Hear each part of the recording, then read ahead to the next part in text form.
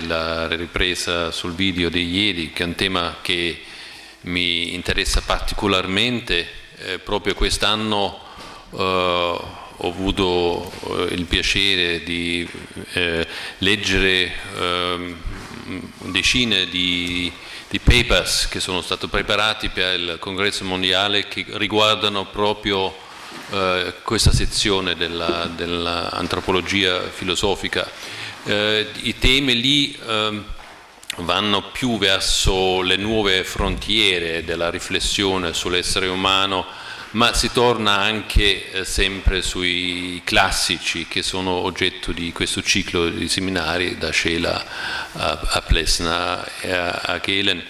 Eh, ho sentito un po' già che cosa fat avete fatto ieri eh, su, su, nuove interpretazioni eh, di Max Scela, anche su eh, sul personaggio, questo, questa persona del tutto particolare, una persona che, eh, come si dice in tedesco, eh, haptisch, eh, aveva bisogno di, di, prendere le cose proprio in mano, i libri divorava, quando leggeva un libro doveva strappare le pagine proprio per, diciamo, di, uh, uh, assorbire il contenuto, quindi proprio un, uh, sì, sì, proprio, uh, un personaggio particolare che uh, vissuto però in un periodo intenso. Se consideriamo quest'ultimo lavoro che viene considerato come uno dei primi testi importanti di quello che poi è diventata una disciplina filosofica, appunto l'antropologia filosofica, die Stellung des Menschen im Kosmos, eh, eh, e mm, rielaborazione di una relazione che aveva fatto nel 1927, è stato pronunciato in un, un periodo oh, dove mm, c'erano grandi personaggi di varie discipline, appunto in quel seminario in cui uh, aveva fatto questa relazione c'era anche l'etnologo Frobenius oppure il sinologo Richard Wilhelm o il psicologo Carl Gustav Jung. Um, oggi ci sogniamo una, una, concentrazione di personaggi così importanti per un, un seminario. Eh, anche in Germania dopo un lungo periodo si torna nuovamente a questi autori e ci sono anche nuove interpretazioni. Eh, questo vale soprattutto per Plesna, c'è un, un, grande interesse per Plesna ma anche per Scela. E, mh, mm, sono molto curioso adesso di sentire le, la, la, sua interpretazione e le do subito la parola. Sì. Beh, diciamo che una parte fondamentale l'ho data ieri, per cui forse dovrai sì. vedere il video, adesso sì, andare un po' avanti. Ehm, no, ricordo, faccio un breve accenno, ricordo che quando ehm, sono venuto qui all'inizio, che era ancora verso la fine degli anni Ottanta, ci facevano lavorare, nel senso che ognuno di noi dopo doveva fare una relazione e presentarla prima dell'inizio, c'era una specie di riassunto che non era poi, io mi ricordo che ero con Gadamer, per cui dopo Gadamer mi, mi, mi correggeva, mi diceva ma qui su questo ah, punto... per cui insomma era anche abbastanza impegnativo, cioè non è che si andava soltanto ad ascoltare, dopo ognuno di noi doveva fare una, una breve relazione, quindi c'era anche un lavoro di questo, di questo tipo. E, ehm, ecco, vabbè, questa è una breve, eh, una breve parentesi. Sì, eh, faccio però un riferimento ad alcune cose che, che, hai detto perché mi sembrano interessanti. Penso che ti riferisci al convegno mondiale in Cina quest'anno, sì, che si farà sì. in Cina, sì. E, ehm, Beh, ehm, in, in, Germania c'è stata un po' una ripresa di questi studi, eh, c'è stata la, la Pleisner Gesellschaft eh. e la Scheller Gesellschaft che mm. hanno lavorato molto in questa direzione, hanno ripreso un po' mm. questi, questi, temi. Abbiamo fatto un convegno in Cina mm. proprio mm. a dicembre, la sì. Scheller Gesellschaft, in cui abbiamo ripreso l'ultimo saggio di Scheller che era sull'Ausgleich, mm. che io tradurrei proprio globalizzazione, che è un mm. saggio eccezionale nel senso che è stato scritto veramente alla, negli, negli, anni nel 1927 circa mm. ehm, e presagiva un po' il futuro della Germania diceva o la Germania abbandona il nazionalismo e la pretesa di germanizzare l'Europa mm. ehm, e quindi intraprende una strada che è quella della come si potrebbe dire del confronto, però un confronto attivo con le, con le altre culture, oppure, che, oppure, quindi della globalizzazione e, e, si trasforma, trasforma se stessa l'Europa, oppure si va verso la catastrofe. Questo detto pochi anni prima del, dell'avvento del nazismo è abbastanza indicativo. E lui aveva presagito che ehm, noi siamo già in questa nuova era della globalizzazione e aveva individuato anche alcune categorie fondamentali, cioè bisogna superare questa contrapposizione, ad esempio, fra razionalismo e eh, sentimenti, fra ehm, Occidente e Oriente, quindi pensiero asiatico e pensiero occidentale, fra uomo e donna. Eh, c'era proprio tutta una serie di categorie che secondo me sono interessantissime perché aveva colto secondo me un aspetto fondamentale della nostra epoca, che è quello della globalizzazione. Diceva, noi non è che possiamo, oggi se ne discute molto, no? Non è che possiamo fare una discussione se rifiutare o meno la globalizzazione, perché questo è un dato inevitabile. Quello che dobbiamo scegliere è quale tipo di globalizzazione vogliamo fare, perché ci sono due possibilità. C'è una globalizzazione che ci porta alla catastrofe, e una globalizzazione invece in cui c'è il rispetto dell'altro e c'è una capacità di compenetrare, di mettere assieme punti di vista diversi. E lui eh, naturalmente propendeva per questa seconda possibilità, no? avere la capacità di eh, prendere in considerazione punti di vista diversi. Lui faceva l'esempio di questi mh, saggi eh, cechi indiani, c'è questo racconto no, che, che, parla che um, in un villaggio indiano erano tutti quanti ciechi, a un certo punto arriva un animale che non era, mai, non era mai arrivato in quel villaggio, che era un elefante. Allora i, diciamo, gli abitanti di questo villaggio convocano questa, questa diciamo, assemblea degli anziani, l'assemblea degli anziani si riuniscono per decidere che cosa era questo nuovo animale. Allora questa, questi anziani si avvicinano all'elefante e ognuno di loro dà una descrizione diversa dell'elefante. Chi aveva toccato la proboscide lo descrive in una certa maniera, chi aveva toccato la, la, la coda in un'altra, chi le zanne in un'altra ancora e alla fine tutti quanti pretendevano di aver ragione. In realtà tutti avevano ragione, però nessuno aveva una ragione assoluta. La, la verità è la capacità di mettere assieme queste varie prospettive. Questa è un pochettino la tesi che, mh, anche della globalizzazione di Scherer. Cioè ci sono diverse prospettive e nessuno può avere la pretesa di imporre il proprio punto di vista. E di fatto lui, la, la, la, critica che faceva alla Germania era proprio questa. Noi dobbiamo superare il militarismo tedesco, dobbiamo superare il nazionalismo tedesco e dobbiamo avere questa capacità di confrontarci con le altre culture e gli altri popoli. Addirittura lui parlava di un confronto con l'Asia per la salvezza dell'Europa, costruire una nuova Europa sapendoci confrontare ad esempio col pensiero asiatico e poneva delle cose molto concrete che possono sembrare anche un po' strane, ad esempio la medicina, no? diceva noi abbiamo un concetto della medicina occidentale che punta tutto sui farmaci, sull'intervento est chirurgico esterno, dobbiamo imparare che c'è anche una medicina diversa che invece ha una, una metodologia completamente eh, diciamo complementare alla nostra, quella orientale, che invece si basa su questo tipo di autocontrollo, di anche una capacità psichica di intervento sul corpo. No? E quindi eh, la sua proposta, ad esempio, che eh, fra l'altro nasce proprio con Scheller, è quella dell'antropologia medica, che viene sviluppata dopo da Victor von Weizsäcker ed altri diciamo, autori, nasce proprio con questa idea che viene proposta da Scheller partendo da questa necessità di un confronto fra diverse culture. No? Questa era una, una tesi che forse una delle più feconde diciamo, del, suo, del suo pensiero. Per quanto riguarda poi l'antropologia filosofica, è chiaro che oggi uno dei temi che eh, penso verrà dibattuto anche in questo,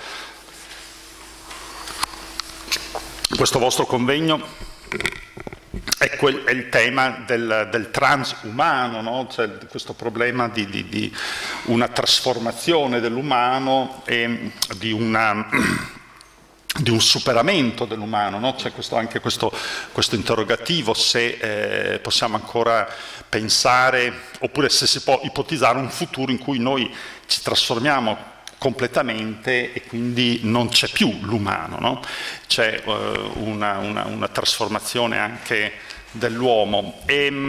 Però secondo me qui c'è, da, c'è un interrogativo molto importante che dovremmo porci, cioè un conto è una trasformazione tecnologica, cioè io posso anche pensare che fra cento anni saremo tutti migrati su dei cyborg e quindi ehm, non so, non, sarà una umanità priva del corpo come lo possediamo adesso. Si può anche ipotizzare, non so, si potrebbe ipotizzare che ehm, l'umanità a un certo punto trasmigrerà su dei corpi artificiali. Questo fra l'altro era un'ipotesi che eh, era già presente nel, anche nell'antropologia filosofica del Novecento, si erano già fatte delle ipotesi in questa, in questa direzione. Però ehm, il problema, significa questo un superamento dell'umano? Secondo me no, cioè eh, sarebbe come il programma rimane sempre uguale, c'è un cambiamento soltanto estetico, però rimane sempre la stessa logica. Se noi vogliamo ehm, guardare bene nella tradizione della nostra cultura, anche della nostra cultura, c'è già stato un tentativo di superare l'umano, non da un punto di vista tecnologico, ma da un punto di vista della logica. E mi sembra che sia un tentativo molto più interessante. Eh, sono eh, tutti i tentativi che ha fatto la filosofia di pensare appunto eh, un sapere come esercizio di trasformazione. Questo tipo di filosofia è già un tentativo di superare l'umano, inteso come homo faber, inteso come soggetto che vuole dominare il mondo. Anche questo è un tentativo di superare una logica, che è quella dell'homo faber, del, dell'umanità. No? E ehm, mi sembra quindi che mh, questo problema anche del, del, del, transumano, del superamento dell'umano, dovrebbe mettere eh, a fuoco anche questo aspetto. Non si tratta soltanto di un problema tecnologico, ma anche di un problema di mentalità, perché noi possiamo anche trasformare il nostro corpo, eh, costruire un cyborg in cui andare a vivere, però eh, non, non, è sufficiente questo per, eh, per, parlare di una vera e propria svolta. Bisogna vedere con che logica poi noi eh, potremmo vivere dentro questi nuovi corpi. Se la logica è la stessa, è la stessa dell'uomo Faber, di un uomo che vuole semplicemente dominare il mondo, tutto sommato sarebbe un cambiamento puramente estetico, cioè tutto sommato non cambierebbe poi molto. La questione fondamentale secondo me è quella di vedere se c'è una trasformazione anche del nostro modo di pensare, una trasformazione della nostra prospettiva, una periagoghe come la chiamava Platone. In questo caso, in questo caso dobbiamo dire che la filosofia si occupa proprio di questa trasformazione e dovremmo dire che l'antropologia filosofica andrebbe esattamente in questa direzione, un superamento dell'umano nel senso di un superamento della visione del mondo dell'homo faber, quindi di, una, di un superamento di, un, di una concezione volta al dominio e alla sottomissione del mondo e della natura. Qui secondo me eh, sarebbe interessante vedere se si arriva a determinare o meno una svolta e la filosofia in molti dei suoi interpreti ha proprio tentato di promuovere un processo di trasformazione che va in questa direzione. Questo mi pare che era una, una, mi era venuto in mente sentendo eh, le tue parole. E per riprendere un po' il discorso di ieri, eh, prima di iniziare volevo sapere se c'era qualche mh, mm, elemento, non so, qualche spunto, qualche richiesta di chiarimento ulteriore, qualche domanda per, eh, prima di iniziare, la, la, la, di proseguire un po' la discussione che abbiamo fatto, che abbiamo iniziato ieri. Altrimenti inizio. Se c'è qualcuno che ha qualche spunto da buttare lì prima che eh, vada avanti, può iniziare anche adesso soltanto mi fermo un momento.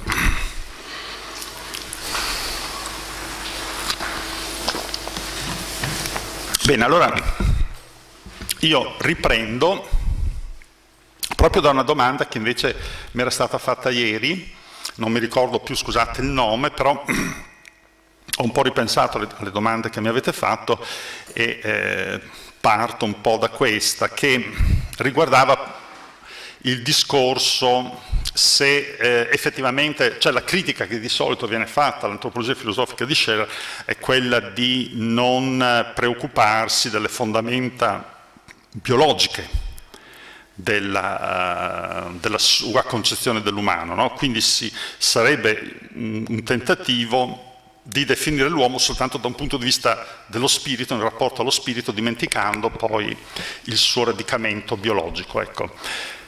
Eh, è chiaro che un tentativo di questo tipo non funzionerebbe, cioè non, non starebbe in piedi. Eh, a mio avviso ci sono delle possibilità di leggere l'antropologia filosofica non soltanto in Plesner e in Gehler, ma anche in Scheller, che invece vanno in direzione di una fondazione anche dal punto di vista biologico, cioè di un radicamento di questa costruzione anche da un punto di vista eh, biologico. E, ehm, una, dei, a parte il fatto che, come dicevo già ieri, eh, è una costruzione che ha una pretesa di... Ehm, sì, il titolo è La posizione dell'umano nel cosmo, però ehm, già nel titolo ci sono alcuni termini molto importanti. Posizione, Stellung, eh, non è un termine a caso, è un termine che eh, mh, mm, potremmo tradurre eh, alla Plesner con posizionamento, con posizionamento, cioè la questione fondamentale è un posizionamento vero e proprio, non è semplicemente io adesso sono qui seduto sulla sedia e basta, no, io mi posiziono nel mondo. Quindi l'umano si posiziona nel mondo quindi è un concetto da intendere in senso dinamico, non statico, statico. cioè l'uomo non è che è posizionato una volta per sempre nel mondo, l'umano si posiziona, si posiziona nel mondo e, e può anche non posizionarsi, perché uno potrebbe, sembra una cosa banale, ma legge questo titolo, dice il posizionamento dell'umano nel cosmo. Va bene, ma cosa succede se non c'è posizionamento?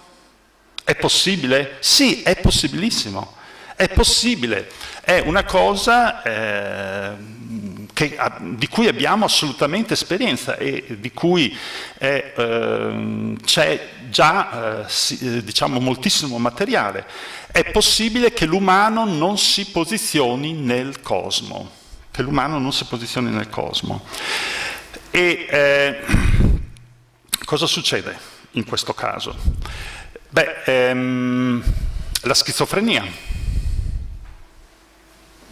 Uno schizofrenico è un essere umano che non si posiziona nel mondo, che non ha gli strumenti per posizionarsi nel mondo. Tutta la psicopatologia fenomenologica perché parte da Max Scheler? Perché essenza e forma della simpatia diventa il punto di riferimento di Kurt Schneider che abbandona, cioè appena si eh, fa il dottorato di psicologia si precipita a Colonia per studiare con Mascheler e fonda assieme a Karl Jaspers tutta la psicopatologia.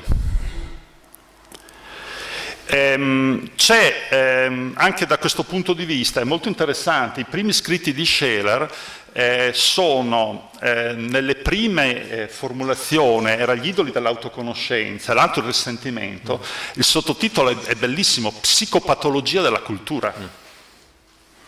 Sapete dove viene pubblicato? Viene pubblicato in una rivista assieme a degli articoli di Karl Jaspers su problemi di psicopatologia. Perché l'interesse originario di Scheler, che eh, all'inizio si era iscritto a medicina, no? Eh, sia a Monaco sia a Berlino.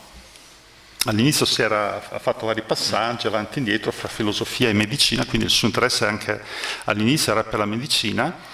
Eh, l'interesse di Scheler era per la psicopatologia della cultura, cioè lui considerava eh, la possibilità che anche non soltanto gli individui singoli, ma anche le società pos, uh, potessero essere psicopatologiche, che ci fossero dei problemi di psicopatologia non soltanto a livello individuale ma anche a livello collettivo, cosa che mi sembra abbastanza interessante. No? Cioè, anche le società, poi abbiamo visto con il nazismo, le masse del Novecento, cioè questo problema eh, che ci siano delle forme di deformazione del principio di realtà e di oggettività, delle forme anche che disturbano la prospettiva a livello di massa mi sembra molto interessante. Il problema del risentimento che viene posto da Shell, Shell diventa famoso essenzialmente qua, attraverso questo, questo articolo che scrive sul problema del risentimento, viene descritto da Shell come una forma di deformazione a livello sociale che ha un effetto dirompente in senso negativo a livello sociale. Fra l'altro oggi questo problema dell'invidia, del risentimento, eh, è studiatissimo in sociologia, ci sono molti studi che vanno in questa direzione per mettere proprio in luce come oggi il problema del, dell'invidia e del risentimento giochi un ruolo fondamentale nelle dinamiche della psicologia di massa. Oggi noi siamo la società dell'invidia, perché siamo una società massificata di uguali tutti quanti guardiamo l'erba più verde del nostro vicino, perché siamo tutti diventati molto più uguali, mentre invece in una società feudale eh, è chiaro che il contadino non guarda quanto con invidia il castello del suo re o del suo feudatario, perché c'è un, una distinzione sociale per cui mh, mm, non c'è invidia del contadino nei confronti del castello del, del proprio sovrano perché lì c'è una distinzione sociale. L'invidia sociale nasce in una società come la nostra. Ecco, quindi c'è all'inizio questo problema che affascina Scheler e che mi sembra molto interessante e dietro la sua riflessione, secondo me, c'è questa tesi fondamentale, che il posizionamento è una questione tipicamente umana, cioè di un essere come dicevo ieri, che viene al mondo senza aver finito di nascere. Io adesso non so se ci sono degli studi sulla possibilità, non so che ad esempio uno scimpanzé possa essere schizofrenico. Ehm, non mi esprimo perché non ho le competenze per esprimermi. Da quanto ne so, io mi pare che non abbiano fatto, che ci siano dei risultati in questa direzione. Però eh, intuitivamente verrebbe da pensare che un problema come quello della schizofrenia sia qualcosa di tipicamente umano, cioè sia un problema che si verifica per un essere che non ha questa rete automatica che gli viene offerta dall'istinto, come spesso succede in un animale che viene al mondo avendo già finito di nascere. Ieri faccio l'esempio del puledro, che viene al mondo ed è in grado subito di mettersi in piedi di camminare e di rapportarsi in maniera corretta col proprio ambiente l'umano non è in questa situazione, viene al mondo e non è in grado di mettersi in piedi, di camminare nel giro di pochi secondi. Non è in grado neanche di gestire le proprie emozioni da solo. Per imparare a gestire le proprie emozioni ha bisogno di un contatto con la madre, con i genitori, con la famiglia, ha bisogno di imparare come si gestiscono queste emozioni. Se c'è qualcuno che non glielo insegna, lui non sarà in grado di impararlo. Eh, vi ricordate quel film di Truffaut, Il ragazzo eh, selvaggio?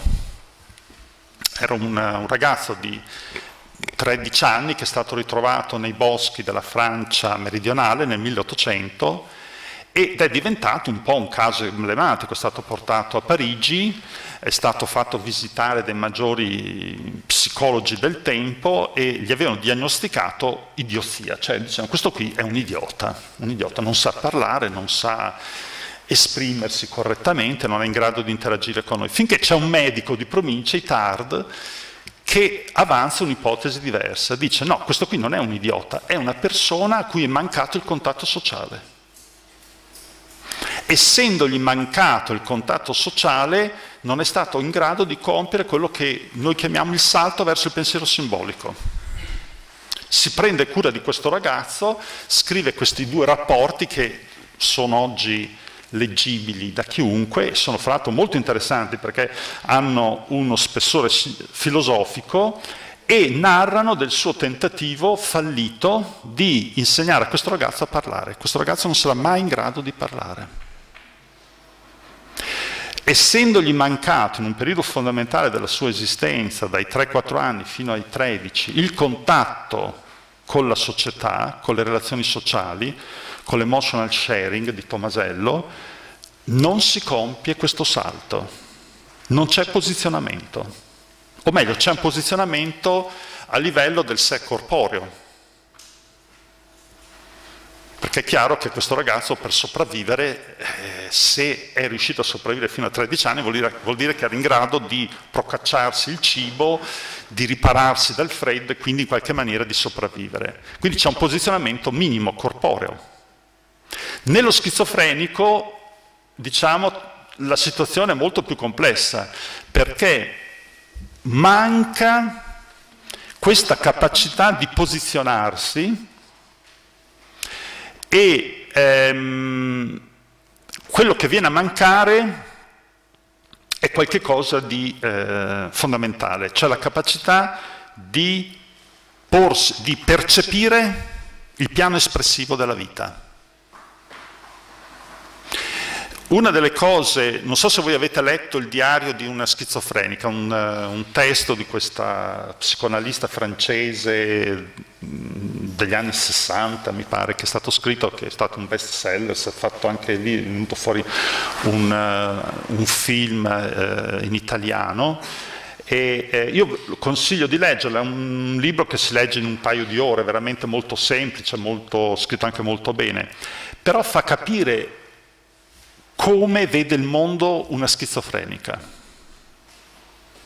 Lei descrive questa sua amica venirgli avanti, questa sua amica dell'infanzia che gli viene avanti, sa che quella è la sua amica, però non riesce più a comprendere i suoi movimenti, i suoi gesti, le sue espressioni. La vede venire avanti come un robot, come una marionetta che viene eh, con dei movimenti meccanici. Non è più in grado quindi di distinguere quello che ieri abbiamo chiamato, vi ricordate, Leib e Körper, cioè questa distinzione fondamentale alla base di tutta la fenomenologia della corporeità. Il Leib, il corpo vivo, e il Körper, il corpo inanimato.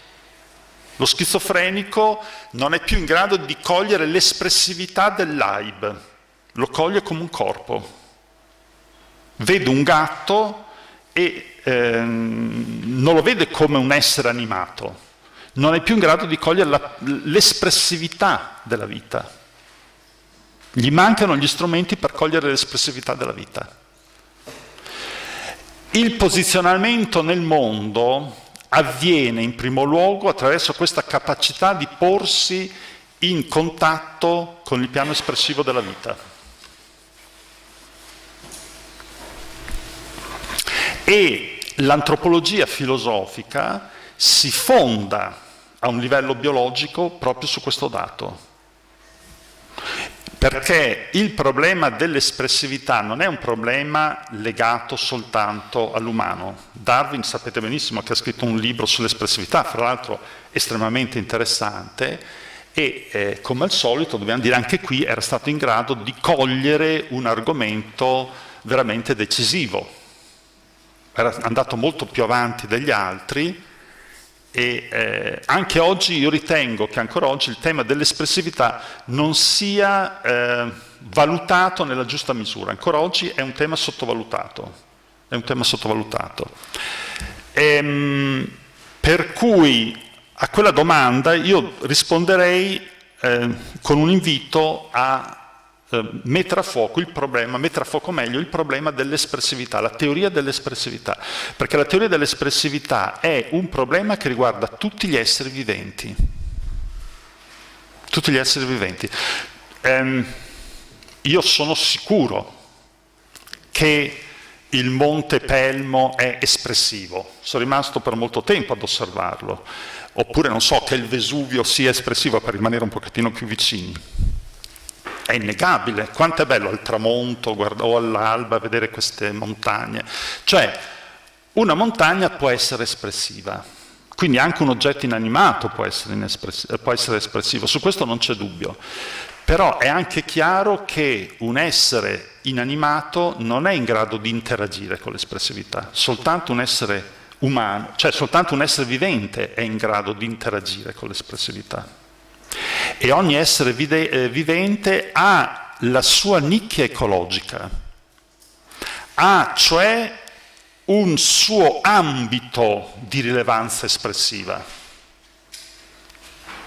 Vi ricordate eh, Jacob von Uexküll, che fra l'altro era venuto qui a Napoli a studiare, e lui si era occupato della rilevanza espressiva della zecca. Aveva scoperto che la zecca, che è sorda, che è cieca, che non, non, ha quasi nessuna capacità percettiva, però è bravissima nel fare una cosa che penso che nessuno di voi riesca a fare. Cogliere le variazioni di temperatura. anche a metri di distanza. Per esempio se, non so, passa un topo a qualche metro di distanza, la zecca è in grado di cogliere questa variazione di temperatura. Qualcuno di voi è in grado di farlo? Non lo so, io non sono capace. La zecca è in grado, al buio, sarebbe in grado di cogliere la variazione di temperatura di un mammifero a sangue caldo che gli passa sotto il ramo dell'albero. Però è l'unica cosa che fa. L'universo di questo essere vivente è altrimenti buio. L'unica espressività, l'unica spiraglio che riesce a percepire è questo. Perché? Perché per lei è fondamentale, perché la zecca si riproduce proprio cadendo nel momento giusto su un mammifero a sangue caldo che gli passa sotto l'albero. Per cui per lei è fondamentale questo, questa capacità. Noi naturalmente, e per fortuna, abbiamo una gamma espressiva molto più ampia e quindi, eh, per utilizzare un termine dell'antropologia filosofica, fortunatamente ci posizioniamo non nella Umweltgeschlossenheit, ma nella Weltoffenheit e quindi siamo in grado di aprirci al mondo. Questo è un, un dato eh, importante, però si radica sul momento biologico dell'espressività, ha un suo fondamento, un suo radicamento mh, su questo momento eh, dell'espressività. L'espressività ehm, è un tema che aveva affascinato eh, Scheler e ehm, lui ne discute ampiamente nel, in questo testo che oggi è considerato forse il testo più, cioè che oggi attualmente è il testo più studiato di Scheler, non è la posizione del, dell'umano nel cosmo, ma è, è Essenze e forme della simpatia, oggi è il testo più studiato di Scheler, in cui c'è anche una teoria dell'espressività. Questa teoria dell'espressività però è una teoria come al solito molto impegnativa, nel senso che Scheler la sviluppa portandola fino alle estreme conseguenze, eh, gli dà una connotazione anche metafisica, fra virgolette. Con metafisica io intendo mette in luce le conseguenze ultime. Questo per dire che ognuno di tutti i filosofi, se mettono in evidenza le, le, le, conseguenze ultime, sono metafisici in questo senso, anche quelli che eh, dicono di non essere metafisici. Che cosa è successo? È successo che è attraverso questa teoria dell'espressività, o meglio della possibilità di percepire direttamente il piano espressivo dell'altro, che Scheller ha fondato tutta quella teoria della percezione dell'altro che oggi sta avendo così tanto successo. Ieri parlavo di Gallagher, Zavi e dei maggiori studiosi di fenomenologia che fanno riferimento oggi come oggi direttamente a Scheller su questo punto. Percezione eh, in contrasto con la theory, theory e la teoria della simulazione, vengono criticate ambedue e come eh, alternativa viene proposta questa tesi della possibilità di percepire direttamente eh, l'espressività dell'altro. Io nel sorriso dell'altro percepisco immediatamente suo, la sua felicità. Non ho bisogno di compiere un ragionamento per analogia. Questa tesi, che viene ripresa anche nel, non so se ne ho parlato anche ieri nella tesi dottorato di Edith Stein, era presente già nella prima edizione del 1913. Ecco, questa tesi però si regge in piedi se dietro c'è un presupposto che ci sia una grammatica, che ci sia una, un, qualche cosa che ci consente di leggere l'espressività dell'altro.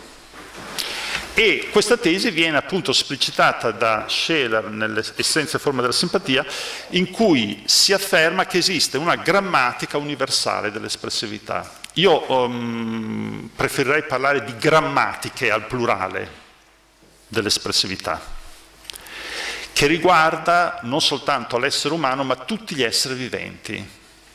Un'ape che eh, riesce a impollinare un fiore o che interagisce con uh, un altro essere vivente, lo fa, oppure una vespa che punge il bruco in un determinato punto, eh, immobilizzandolo senza eh, farlo morire per poi iniettare dentro le sue larve, eh, il famosissimo episodio che ha fatto diventare ateo Darwin, eh, Darwin studiando questo fenomeno ha perso la fede in Dio e che poi è stato ripreso e studiato da ehm, Bergson, da Simmel e da Scheler, quindi si vede che insomma, è stato un caso abbastanza interessante, perché come fa la Vespa a capire il punto preciso in cui colpire senza far morire il bruco, perché se fa morire il bruco queste larve non hanno carne fresca dopo da mangiare,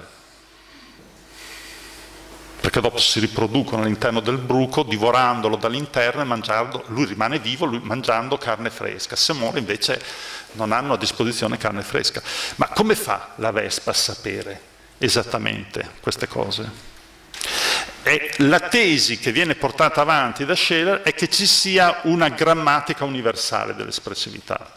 Ora, il termine grammatica universale è un termine che a me sembra un po' problematico, come dicevo prima parlerei di grammatiche universali al plurale, cioè, oppure le varie vie addirittura universali, cioè però delle grammatiche, come anche noi se guardiamo, non so, il linguaggio umano, non è che possiamo parlare di una grammatica universale uguale per tutti, però c'è qualche cosa che lega eh, tutti i linguaggi possibili di tutte le nazioni del mondo. Alla base c'è una struttura logica, c'è qualche cosa che permette che dopo ci siano varie grammatiche.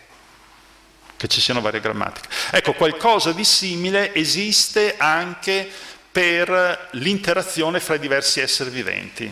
Questa è la grande intuizione di Scheler che va sotto il nome di unipatia, Einsfühlung, questo termine che viene introdotto nella seconda edizione del eh, 1923, quindi nella seconda edizione, nella prima invece mancava, non c'era questo termine. Einsfühlung sarebbe uno, Eins è uno, e Fühlung eh, possiamo tradurlo con, con pathos, patia, no? quindi unipatia, che è diversa dalla empatia, ehm, Einfühlung senza la S, quindi si fa spesso confusione fra questi due termini perché c'è questa S in mezzo che eh, quindi è una, una, leggera differenza, in realtà è una grande differenza perché sono due cose molto diverse. Nell'unipatia eh, io sono uno con l'altro, c'è una capacità di entrare in contatto con l'altro perché? Perché abbiamo una base comune, c'è una radice comune, il fatto che siamo tutti quanti membri della stessa Al-Leben, della stessa vita cosmica, che quindi riusciamo a entrare in contatto fra di noi. Se non ci fosse questa radice comune non riusciremo a interagire. Questa è questa grande intuizione, ehm, un'intuizione che Mm, diciamo, viene sviluppata anche da altri autori, poi secondo me si può rintracciare anche in Bergson, per, dire, per rimanere a uh, un autore che era stato citato per certi aspetti ieri, ma che è ripresente anche nel dibattito contemporaneo sotto altri nomi, anche per, nella prospettiva ecologica ci sono alcuni autori che vanno in questa direzione. Ecco, ehm, c'è un autore però molto conosciuto, che tutti voi sicuramente conoscono, che ha lavorato in maniera molto concreta in questa direzione cercando di eh, classificare delle forme universali di espressività. È il famoso psicologo Ekman che ha individuato all'inizio sei forme fondamentali eh, dell'espressività e eh, la sua tesi è che nell'umano esistono delle forme elementari, basiche, eh, del modo di esprimere sei emozioni fondamentali. Per cui, non so, la paura in tutti gli esseri, che sia un cinese, un giapponese, un indonesiano, un indigeno eh, che vive nell'Amazzonia, tutti quanti esprimeranno la paura con una certa modalità delle labbra, del viso e via dicendo, no? E quindi ha sviluppato questa teoria Ehm, inizialmente erano sei, dopo le ha sviluppate, cioè se ne sono aggiunte delle altre, però adesso a noi non interessa tanto eh, andare a vedere quante sono queste espressioni universali, ma un altro aspetto. Eh, questa teoria di Ekman è stata anche criticata, nel senso che alcuni hanno messo in discussione che queste ehm, questa tesi di Ekman sia valida. Perché? Perché hanno detto, ma sì, è vero che tutti quanti abbiamo uno stesso modo di sorridere. Detto in maniera molto banale, tutti quanti quando sorridiamo mettiamo, incurviamo verso l'alto le labbra, mentre invece quando c'è la delusione verso il basso. No, ci sono delle espressioni, diciamo, inconfondibili che apparterrebbero eh, a tutti gli esseri umani. Ed è un po' strano che tutti quanti facciamo così, no? Come mai succede questo? Perché in Cina eh, non mettono, che, fanno le labbra in giù invece del in su? Tutti quanti abbiamo un modo di esprimerci come se avessimo una grammatica universale, un po' la Scherer, no? questa tesi qui. Ecco, ehm, mi sembra che sia un po' un banco di prova per capire se questa tesi funziona. Ehm, questa tesi in realtà è sotto attacco oggi, nel senso che alcuni studiosi hanno messo in discussione questa tesi affermando che non è poi esatto, esattamente questo che si verifica. Perché? Perché in realtà eh, è vero sì che, mh, mm, non so, nel modo di sorridere tutti quanti mettono le labbra, cioè inarcano le, le, le labbra verso l'alto, no? Però se tu guardi bene, non so, un giapponese lo farà in maniera diversa da un pellirossa o da un africano o da un francese. Per cui ci sono delle variazioni in realtà. Mm? Ecco, a me sembra che però queste critiche, per quanto documentate e anche eh, molto interessanti, più che distruggere il presupposto di partenza permettano di svilupparlo in una maniera molto interessante. Cioè, eh, che cosa significa questo? Beh, prima di tutto significa che lo schema generale potrà, eh, pot um, forse dovrà essere semplificato ancora di più. Eh, diciamo che forse nella maniera che era stata individuata da Ekman era ancora un po' troppo ricco per cui se vogliamo veramente arrivare ad uno schema universale che tenga eh, presente maniera, la maniera di sorridere di un giapponese, di un pellirossa, di un francese e di un altro, non possiamo andare molto più in là di una, un, delle labbra che si inarcano verso l'alto e, eh, e, e, poco altro, ecco, sì, ecco, diciamo, arriviamo lì, arriviamo lì, non molto di più, ecco, non molto di più non molto di più. Frat è anche molto interessante perché poi dopo perché si è sviluppato, vuol dire che funziona quindi, no? Eh, sì, sì, sì, sì. Ecco, quindi eh, il fatto anche questo mm, va un po' in questa direzione. Quindi porta, queste critiche hanno portato e stanno portando a una semplificazione estrema di questo schema individuato da Ekman. Però ci possono suggerire, almeno a me è venuta in mente anche un'altra ipotesi, tenendo presente proprio questo discorso che l'essere umano è plastico, che l'essere umano nasce e viene al mondo senza aver finito di nascere. Allora, che cosa si potrebbe ipotizzare? La mia tesi è che l'espressività sia una questione fondamentale che è stata finora sottovalutata nel dibattito culturale, perché ha a che fare anche col nostro processo di individuazione e di singolarizzazione. Per cui è vero, sì, che noi veniamo al mondo e eh, in poco tempo un neonato è in grado di eh, riconoscere il sorriso della madre, nel senso di Ekman, no? quindi di eh, arrivare a capire ehm, lo schema generale, il contesto del, dell'espressione che eh, corrisponde alla felicità. No?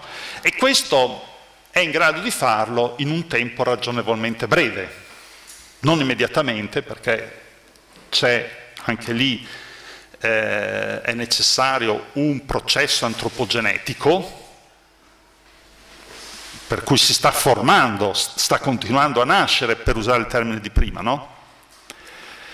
Però è chiaro, scusate un attimo, che non lo fa attraverso un ragionamento per analogia. Perché come fa il neonato a, um, a vedere che il sorriso della madre è uguale al sorriso del proprio viso? C'è la famosa tesi dello specchio nascosto, segreto nascosto nel pannolino, cioè ogni neonato avrebbe uno specchio magico nascosto nel pannolino, finora nessuno scienziato è riuscito a trovarlo, che quando la madre non lo guarda, lui si guarda allo specchio, studia la sua espressione, vede che quando sorride in una certa maniera è felice, poi vede la madre, nasconde lo specchio magico che sparisce, vede la madre, fa un ragionamento per analogia e quando vede che la madre sorride dice ecco io quando faccio quel movimento con le labbra sono felice quindi mia mamma è felice. Ecco, finora comunque questo mh, specchio magico dagli scienziati non è stato trovato, quindi quando lo troveremo potremmo essere d'accordo con questa teoria dell'analogia. Ehm, però, ritornando a Ekman, è chiaro che all'inizio, ehm, proprio disponendo di una grammatica universale, o di grammatiche di grammatiche dell'espressività, il neonato è in grado di cogliere nel sorriso della madre, fra l'altro il neonato coglie nel sorriso della madre prima di tutto eh, che lui è importante, perché capisce che la madre sta sorridendo ed è felice perché lui esiste. Quindi questo ha una conferma psicologica fondamentale anche per l'esistenza del neonato. Bisognerebbe chiedersi che cosa succede quando la madre non sorride al neonato, quali sono le conseguenze sul, sullo sviluppo poi psichico di questo neonato. No? Comunque, diciamo, il neonato coglie questo sorriso e così diciamo che nel giro di qualche anno questo essere umano sarà in grado di ehm, riconoscere queste emozioni fondamentali, lo schema di queste emozioni fondamentali descritte da Ekman. E sarà in grado anche di replicarle, sarà anche lui in grado di ehm, essere arrabbiato in una certa maniera, di, con, di esprimere la propria felicità in un'altra, quindi di esprimere e di riconoscere queste espressioni però lo farà in maniera impersonale, in maniera generica. Allora, la mia ipotesi è questa, che all'interno di questo schema complessivo ognuno di noi sviluppa un processo di singolarizzazione metabolizzando all'interno di questo contesto un suo modo particolare di sorridere. Per cui è chiaro che sarà possibile individuare, ad esempio, che so, nella cultura giapponese ci saranno dei tratti simili, perché la cultura giapponese ha metabolizzato all'interno dello schema generale di Ekman un modo, diciamo, di sorridere alla giapponese, dopodiché ogni giapponese sarà in grado a sua volta di metabolizzare un suo modo unico e inconfondibile di sorridere. E su questo io penso che ognuno di noi può fare, eh, può dire e eh, avere una, una, sua posizione, perché è una cosa di cui facciamo esperienza in continuazione. Io penso che se voi avete una persona cara, una persona che vi è vicina, un amico, un, un familiare, sapete benissimo e siete in grado di riconoscere che questa persona ha un suo modo impercettibile, non so, di muovere il labbro in una certa maniera, di sorridere che appartiene soltanto a quella persona lì. Quindi ogni Ognuno di noi poi riesce a elaborare e a metabolizzare una sua espressività inconfondibile, cioè riesce all'interno di questo schema generale a compiere un percorso di singolarizzazione che lo porta a esprimersi in una maniera inconfondibile. Per cui voi dite, ecco, questo modo di fare è tipico di Giovanni, o questo, mh, questo sorriso è tipico di Patrizia.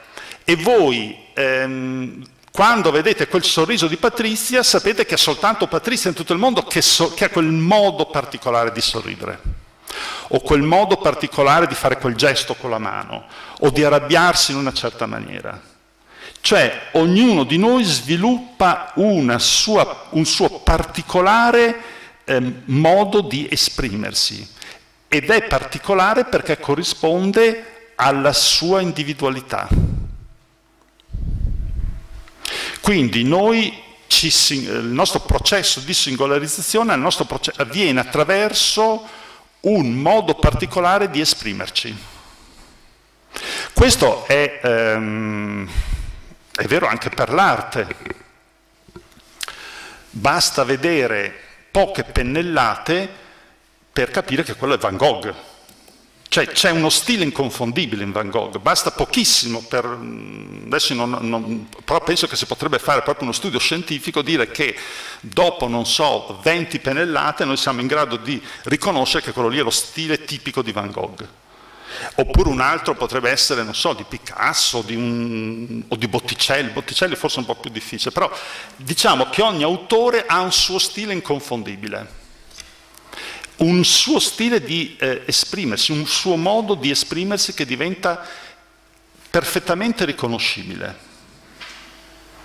E noi siamo quindi un modo di esprimerci, la nostra singolarità è un modo di esprimerci è strettamente correlata a questa capacità di esprimerci.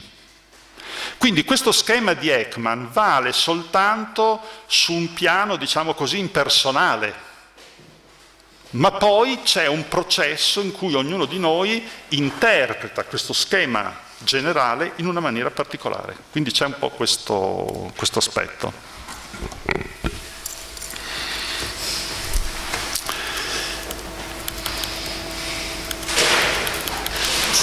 Ecco, ehm, penso di avere ancora um, dieci minuti, ce li ho, no?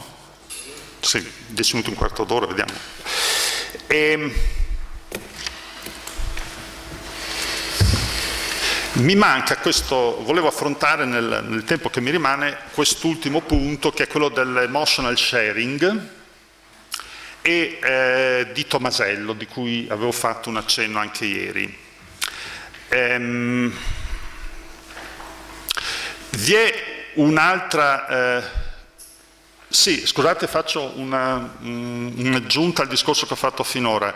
Eh, di solito le teorie della intersoggettività finora eh, si, ehm, si, fondano, quelle che mi, almeno che mi sembrano più convincenti, eh, si fondano, per esempio c'è Fuchs in Germania, Thomas Fuchs che ha lavorato molto in questa direzione, eh, si fonda su questo concetto di ehm, transcorporeità, che è un concetto poi ripreso da Merleau-Ponty, per cui eh, alla fine di tutto ci sarebbe una eh, dimensione corporea che non è soltanto individuale, ma che eh, si posiziona attraverso l'interazione con le altre corporeità.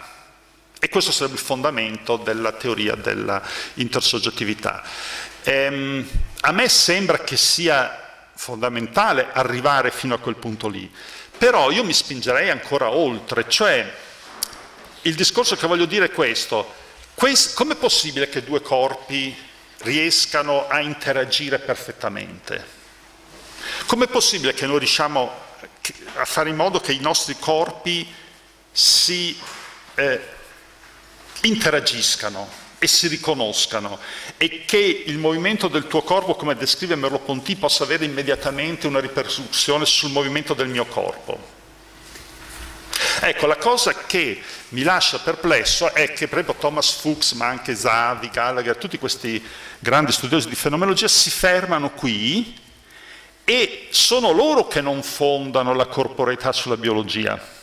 Cioè non si pongono questo problema se esiste una grammatica dell'espressività che permette questo.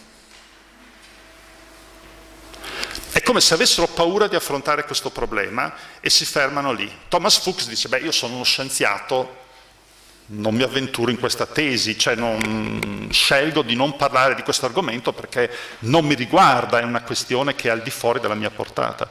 Tenete presente che in Merleau-Ponty questo problema non è così semplice, perché Merleau-Ponty scrive e affronta anche, eh, non so, eh, questo tema del mondo, e questa dimensione anche biologica. Quindi in Merleau-Ponty non è del tutto escluso questo aspetto, che invece viene neutralizzato nel dibattito attuale sulla uh, teoria dell'intersoggettività.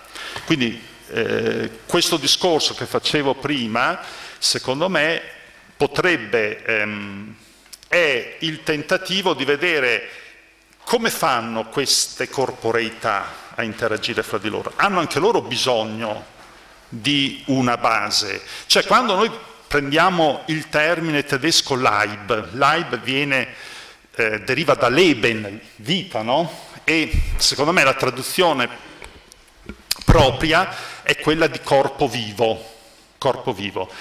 È molto significativo che invece eh, gli husserliani abbiano tradotto spesso in idee uno eh, corpo proprio e non corpo vivo perché Husserl concepiva il Leib come l'oggetto su cui io posso esprimere mia, il mio dominio, no? vi ricordate, ieri dopo arriva uno che al Madischina dice, beh insomma, eh, forse è stato un po' troppo ottimista, e quindi c'è questo, questo atteggiamento. Però se noi parliamo di corpo vivo, io vi pongo questa domanda, è più essenziale, è fondamentale, corpo o vivo? Qual è il termine fondativo?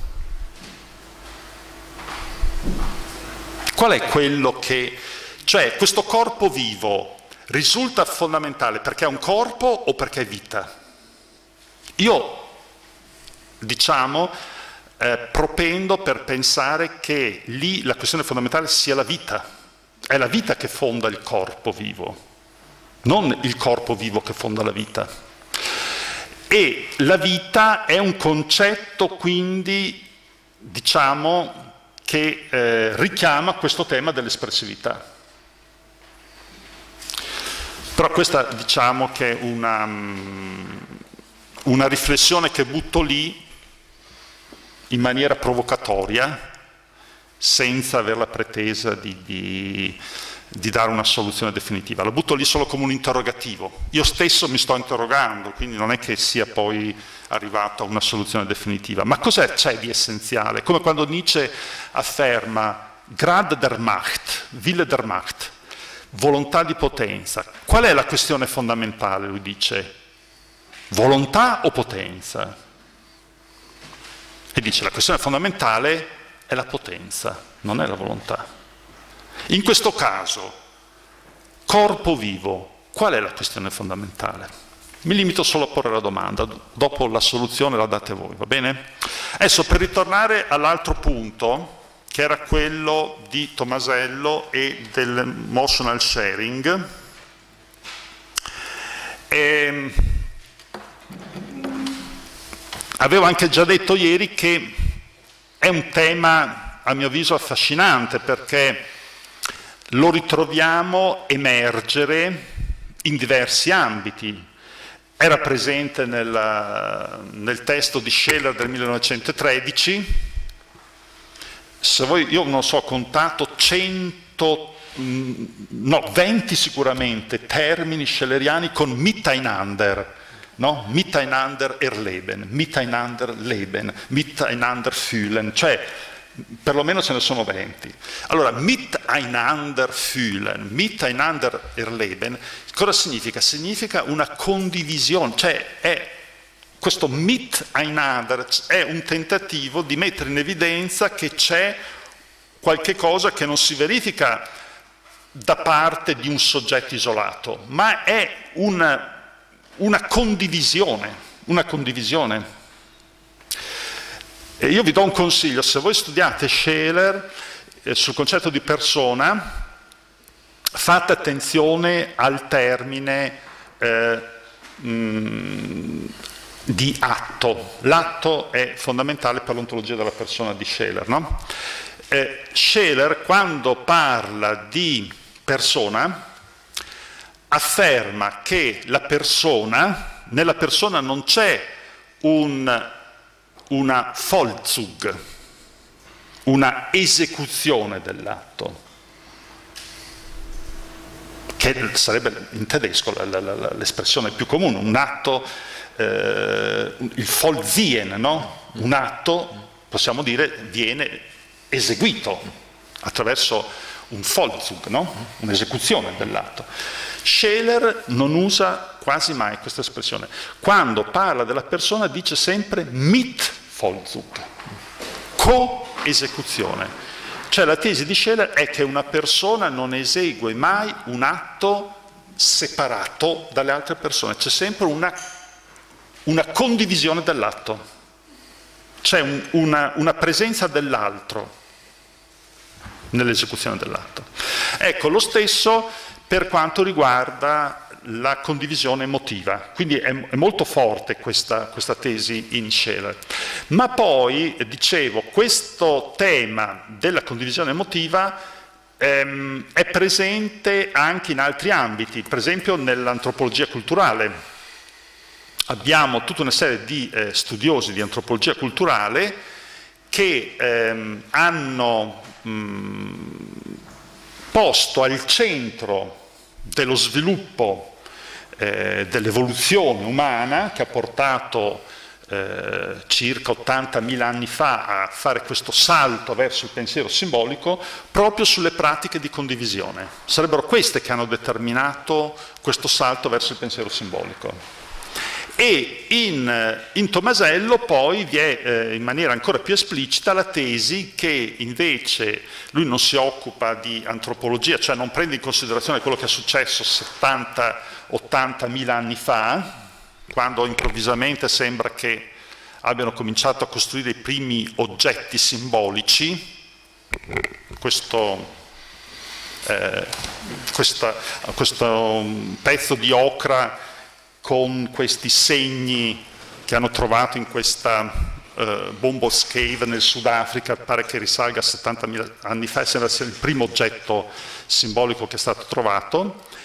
Ehm, Tomasello si occupa invece di quello che succede nei primi mesi di vita di un neonato. Anche lì però c'è un salto verso il pensiero simbolico. A un certo punto un essere umano che prima non parlava inizia a parlare si tratta quindi di un processo che ha dei punti di similitudine con quello dell'antropologia culturale.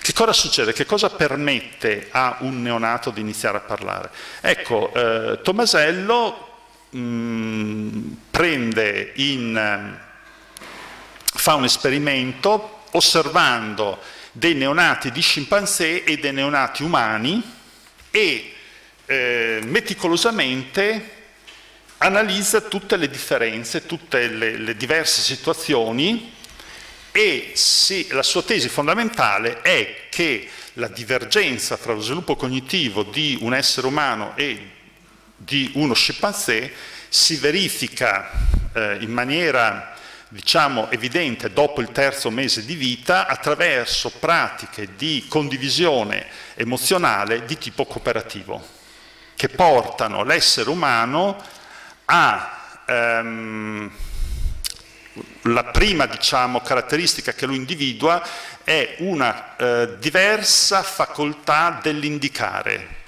Uno scimpanzé è in grado di indicare una banana per richiedere aiuto, per dire voglio quella banana lì, ma non è in grado di indicare una banana per offrirla ad un altro scimpanzé. Questa capacità di indicare qualche cosa per aiutare qualcun altro sembra che sia unica del, dell'animale umano. Questa almeno è l'ipotesi di Tomasello, che sarebbe connessa a delle capacità, a delle pratiche di condivisione emotiva eh, che hanno, che seguono una logica di tipo cooperativo.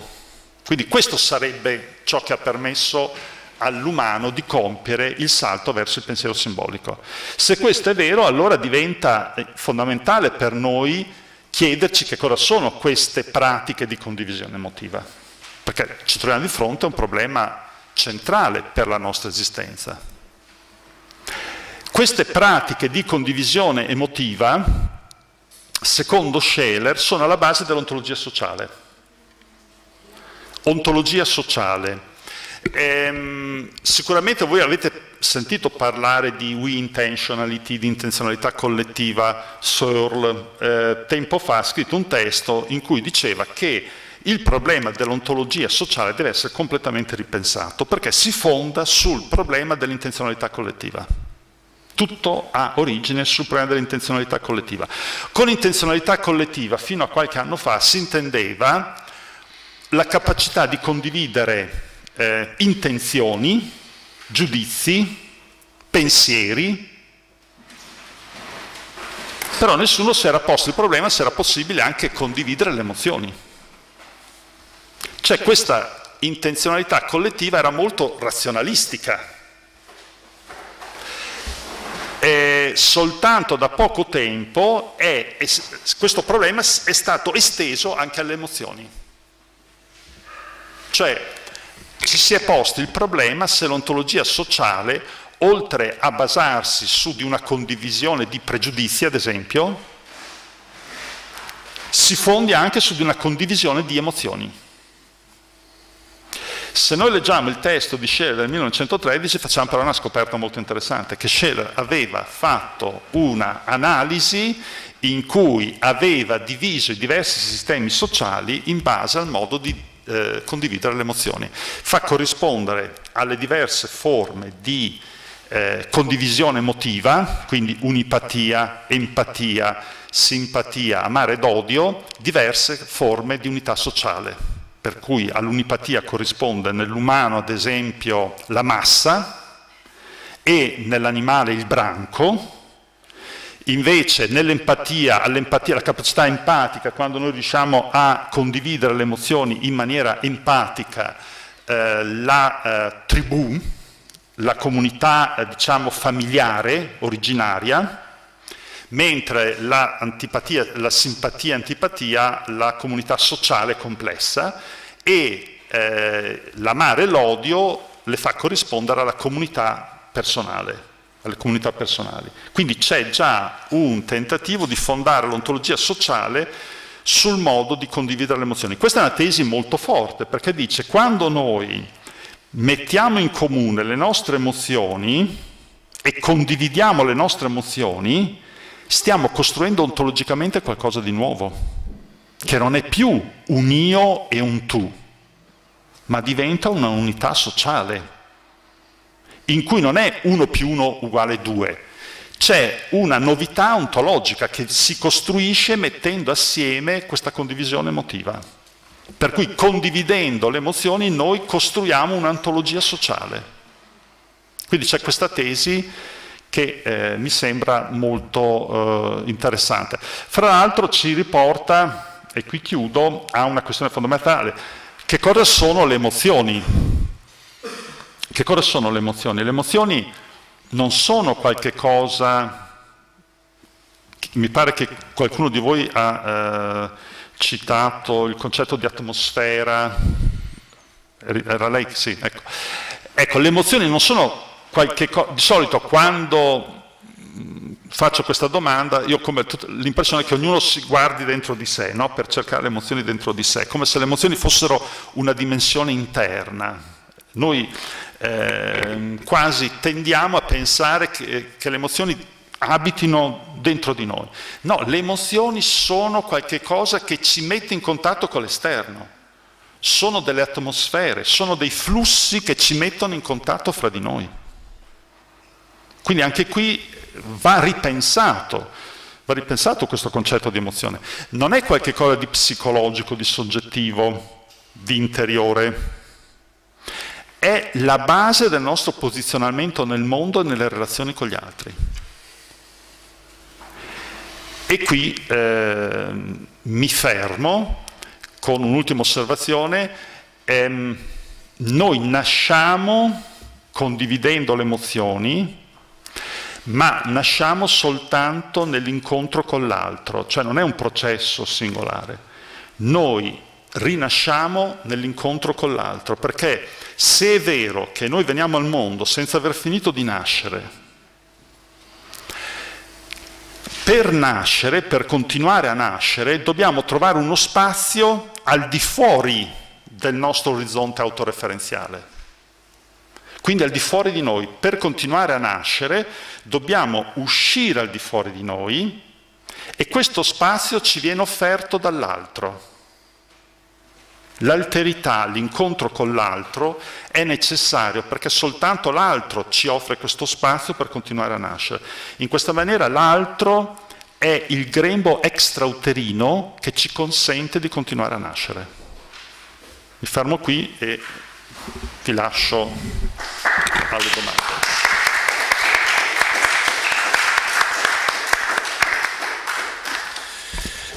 Grazie di questo ricchissimo, eh, questa relazione. Eh, vorrei fare solo una piccola osservazione per quanto riguarda il concetto che hai menzionato, quel Miteinander in tedesco.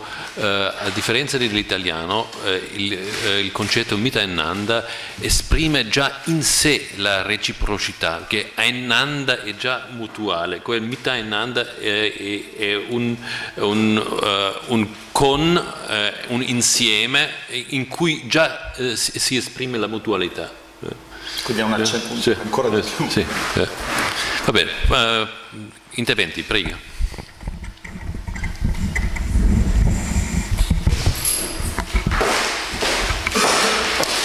Innanzitutto grazie mille. E la mia è più che altro una curiosità e una richiesta di mh, chiarimento sulla teoria dell'espressività. Sì. Mi chiedevo se è possibile eh, concepire l'espressività ad un livello per così dire zero, e quindi ancora prima poi di entrare nel discorso sulle emozioni, come un certo modo che l'oggetto ha di offrirsi al soggetto che conosce, che si relaziona con questo oggetto.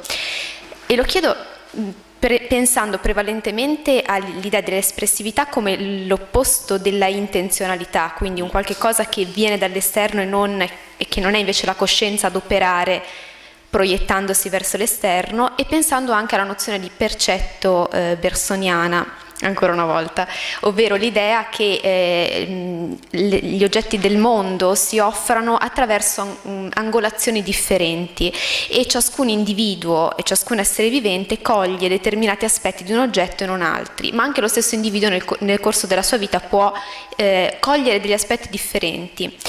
Questo mi pareva un po' contenuto nell'esempio della, della zecca. Eh, un cane che passa sotto un albero offre alla zecca, in questo caso, di se stesso un aspetto specifico, che è il cambiamento di temperatura e che è un invito in qualche modo lanciato all'altro essere vivente, è questo che viene in qualche modo inviato e colto dal, dalla zecca. Altra è invece, dire, quello, l'espressività dello stesso animale, dello stesso cane per un suo simile, che non è un cambiamento di temperatura in questo caso, ma è per esempio una interazione tra, tra esseri della stessa specie. E questo discorso si complica ulteriormente se consideriamo non eh, un animale come il cane, ma per esempio un, un oggetto come può essere un vaso di frutta che ha, eh, offre di sé due espressioni completamente diverse a seconda che lo si guardi per mangiarlo o lo si guardi per eh, dipingerlo.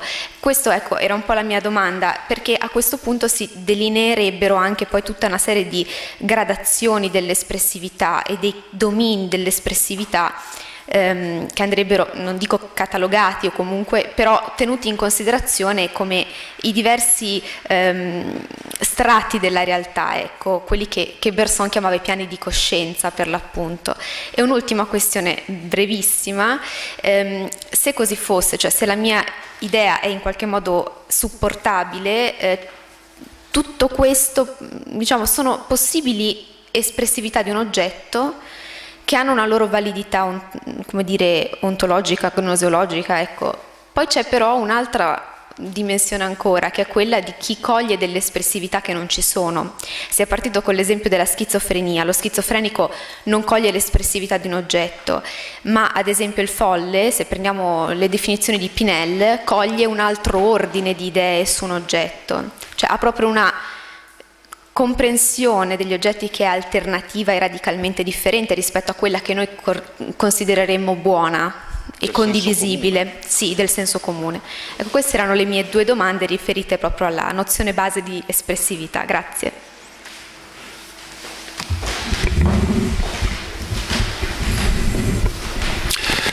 Beh, il tema diciamo che si può eh, ampliare e mh, sono diciamo, d'accordo con, con le, tue osservazioni. E, mh, mi vengono in mente diversi eh, punti. Allora, il primo è che nell'espressività noi dobbiamo cogliere due movimenti. C'è un movimento che parte dal fenomeno stesso, perché è il fenomeno che si esprime, e in questo caso è il fenomeno che si esprime e che si costituisce anche nell'esprimersi, quindi eh, si supera la, la, la, distinzione fra Ding sich e eh, Phänomen e eh, no, non c'è più un, diciamo così, un'essenza dietro. La fenomenologia è proprio questa, è un tentativo di eliminare questo discorso di un Ding sich che starebbe lì dietro ma di guardare come essenziale la manifestazione del fenomeno stesso, cioè il fenomeno si costituisce nel modo in cui si esprime e si manifesta. E, e qui naturalmente dobbiamo superare l'impostazione di Husserl che eh, ha descritto eh, questo problema soltanto, oppure prevalentemente, dal punto di vista di un soggetto intenzionale che illumina con la propria intenzionalità il mondo, quindi con una direzione che parte dal soggetto verso il mondo. Se è vero che il fenomeno si manifesta, noi dobbiamo presupporre una controintenzionalità che parte dal mondo, per cui è il mondo che ci illumina. Ci sono tutta una serie di termini in tedesco, Offenbarung ad esempio, rivelazione, che eh, vanno proprio in questa direzione, cioè di una, la, l'Offenbarung è una intenzionalità che parte dall'altro, che può essere una persona, ma può essere anche un, un, anche un fenomeno, no? Quindi ehm, non sono più io che intenziono un'altra persona, ma è questa persona che si apre e si rivela a me. In questa maniera se eh, diciamo, questa comunicazione funziona nella misura in cui io metto fra parentesi la mia intenzionalità oggettivante. Perché eh, se io continuo a oggettivare questa persona, eh, il processo comunicativo si interrompe, questa persona si chiude e non si rivelerà più. Per cui è molto importante tenere presente questi due aspetti che invece nella posizione husserliana sono un po' sbilanciati dal punto di vista di una intenzionalità che parte dal soggetto. Quindi questa è la prima cosa da fare e diciamo che tutta la fenomenologia francese non a caso è andata in questa direzione, faccio riferimento all'ultimo, non so, a Marion, per citare soltanto uno, che ha costruito quasi tutta la sua fenomenologia proprio eh, in questa, andando in questa direzione qui. Quindi questo è il primo punto, la espressività è da intendere in tutte e due queste prospettive, non soltanto quella husserliana ma anche quella diciamo così alla francese, no? dall'altra parte. Ed è già una questione molto eh, importante. Poi c'è la Gestalt Psychologie. Allora, la Gestalt Psychologie ha affrontato tutti questi fenomeni e eh, è molto interessante perché eh, ci dà molto materiale eh, in questa direzione. Era molto interessata a tutte queste questioni. È chiaro, la gestalt che cos'è? È una forma espressiva anche quella. Cioè, ehm, quando si parla di affordance, ad esempio, no? E ehm, di che cosa si sta parlando? Si sta parlando esattamente di queste questioni qui. Cioè, ehm, mi pare che era Kafka che faceva, che è stato un po' alle origini di questa teoria delle affordance. E eh, lui diceva, mm, ma eh, noi dobbiamo mh, mm, pensare che il mondo che ci circonda è un mondo in cui gli oggetti esprimono delle richieste, esprimono delle richieste, anche questo è molto interessante. E, e faceva tutta una serie di esempi in cui secondo me però c'era un problema che gli era sfuggito. Un problema che gli era sfuggito. Perché lui, sentite, fa, uh, fa questo esempio qui, dice, ad esempio, eh, sono fra l'altro esempi che mi hanno molto, quando li ho letti mi hanno fatto molto riflettere, ma penso che anche tutti quelli che li hanno letti hanno avuto questa stessa impressione. Lui dice, per esempio, una maniglia dice afferrami, no? È bellissimo, no? Tu vedi una maniglia e è come se questa maniglia ti, ti invitasse ad afferrarla, cioè tu vedendo quella maniglia in realtà vedi già, o meglio, io penso che se studiassero il nostro cervello vedrebbero che il nostro cervello mette in atto tutta una serie di eh, pensieri per vedere come la mia mano potrebbe afferrare quella maniglia lì. Quindi il nostro cervello, vedendo quella maniglia, è già lì che sta lavorando per vedere i movimenti che dovrebbe compiere la mia mano per afferrare quella maniglia lì. Quella maniglia, quella maniglia lì dice afferrami e io sono lì che cerco di capire come afferrare quella maniglia lì. Questo bicchiere d'acqua qui mi dice bevimi, è un'offerta, esprime una offerta che mi viene fatta ehm, rispetto a questa funzione. E quindi il significato di qualche cosa è relativo a questa eh, questa, eh, questa esprimere un'offerta, una richiesta. E poi alla fine conclude in bellezza dicendo una donna dice amami. una donna dice amami. eh, però lì eh, il problema è che una donna dice amami esprime una richiesta che secondo me è un livello diverso da quello di una maniglia che dice aprimi.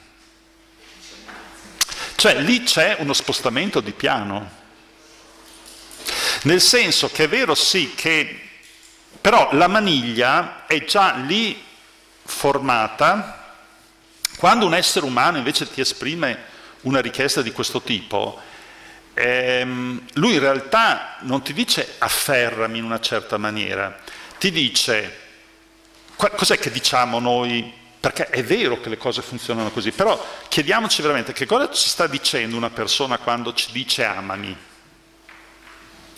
Secondo me questa persona che ci dice amami ci sta facendo una richiesta ben precisa ed è qual è questa richiesta? Secondo me ci chiede eh, una cosa di questo tipo, dammi quello spazio che mi permette di continuare a nascere. Cioè offrimi quel terreno, quello spazio che la, che la mia fame di nascere del tutto sta cercando. È questo che ci dice. Però questa è una richiesta etica in un certo senso, che non è da porre sullo stesso piano della maniglia che mi dice aprimi.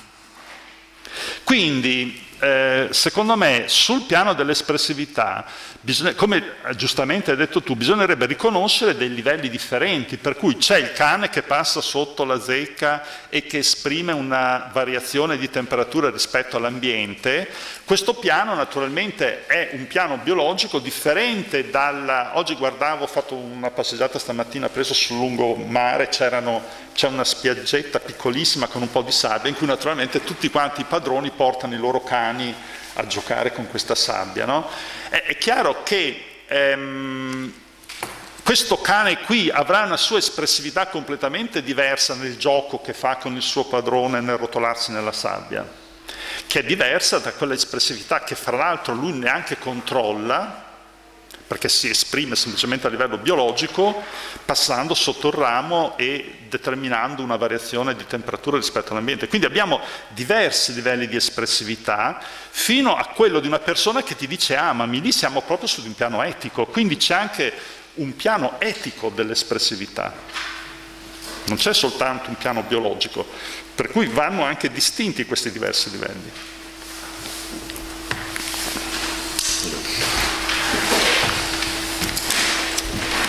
io procedo come al solito per associazioni di idee, mi mm. perdonerà se non sono, se non sono valide eh, o, o, non sono interessanti. Eh, la prima cosa che volevo dire in realtà è questa, eh, a proposito dell'intenzionalità collettiva. Sì. È vero sicuramente insomma, quello che dici, però forse All'epoca si cominciava a parlare di queste cose, per esempio Le Bon, il libro sulla psicologia delle masse, è precedente, ho controllato adesso sul telefonino, dovrebbe essere il 1895, quindi forse l'idea che le masse poi possano essere unite anche da emozioni magari indotte attraverso persuasioni malvagie o comunque attraverso la propaganda eccetera forse si cominciava a farsi strada come un problema abbastanza rilevante appunto delle società di massa. Questa è una piccola osservazione non so se, se è il caso se ha, se ha un senso rispetto al discorso che faceva lei. Poi un paio di osservazioni rispetto a Leib e Körper. Allora questa è veramente un'associazione di idee eh, secondo Bruno Schnell nel, nel, mondo, nel mondo, medico non c'è una concezione ehm, non c'è una concezione unitaria di corpo e tant'è vero che non c'è neanche un termine per, per definirlo, ma l'unico termine è, le, è quello che è l'equivalente di cadavere, in questo momento non mi, non mi ricordo il... Life. Ecco, quindi diciamo così, mentre invece la vita, quella che va via, la psiche, più che la psiche, cioè non è, non è, quella che può essere la psiche, ma appunto è il soffio vitale. Quindi in qualche modo c'è un'assonanza diciamo, con, questa, con questa distinzione.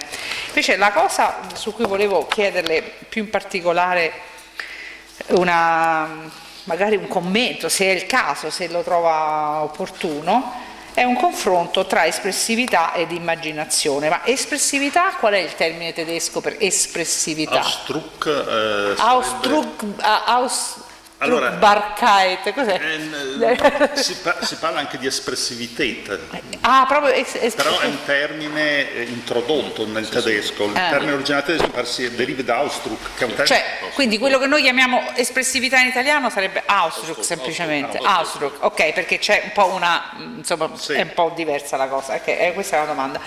Allora, ehm, lo schizofrenico non vede un live ma vede un Körper, cioè vede una, un, potremmo dire che vede una sorta di automa eh, privo di espressività, un robot, no un automa, un robot.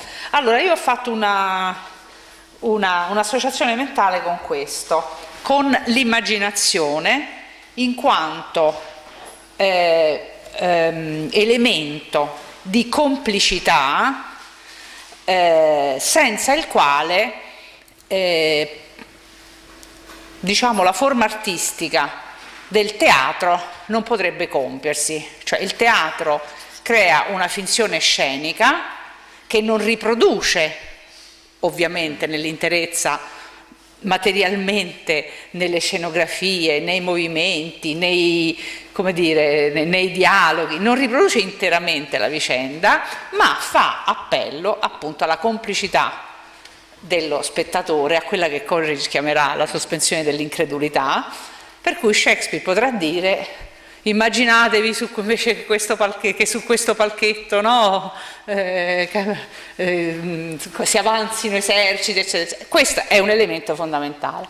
Però noi abbiamo anche, non abbiamo soltanto Shakespeare, credo sia il prologo dell'Enrico VI, mi posso sbagliare, abbiamo anche Tolstoi e abbiamo anche Natascia che va a teatro, va a sentire una cantante lirica e siccome non è preparata a quella forma d'arte e quindi non è preparata a offrire la sua complicità, vede una sorta di marionetta che si muove sulla scena e per lei senza, praticamente senza senso.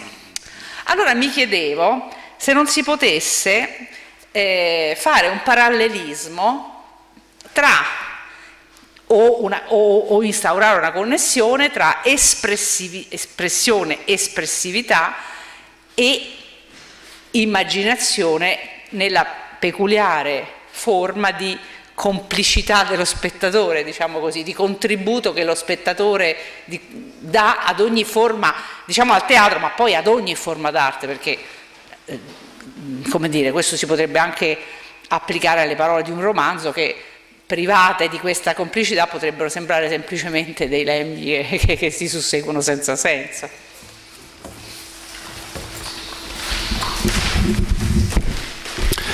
Sì. dire una cosa.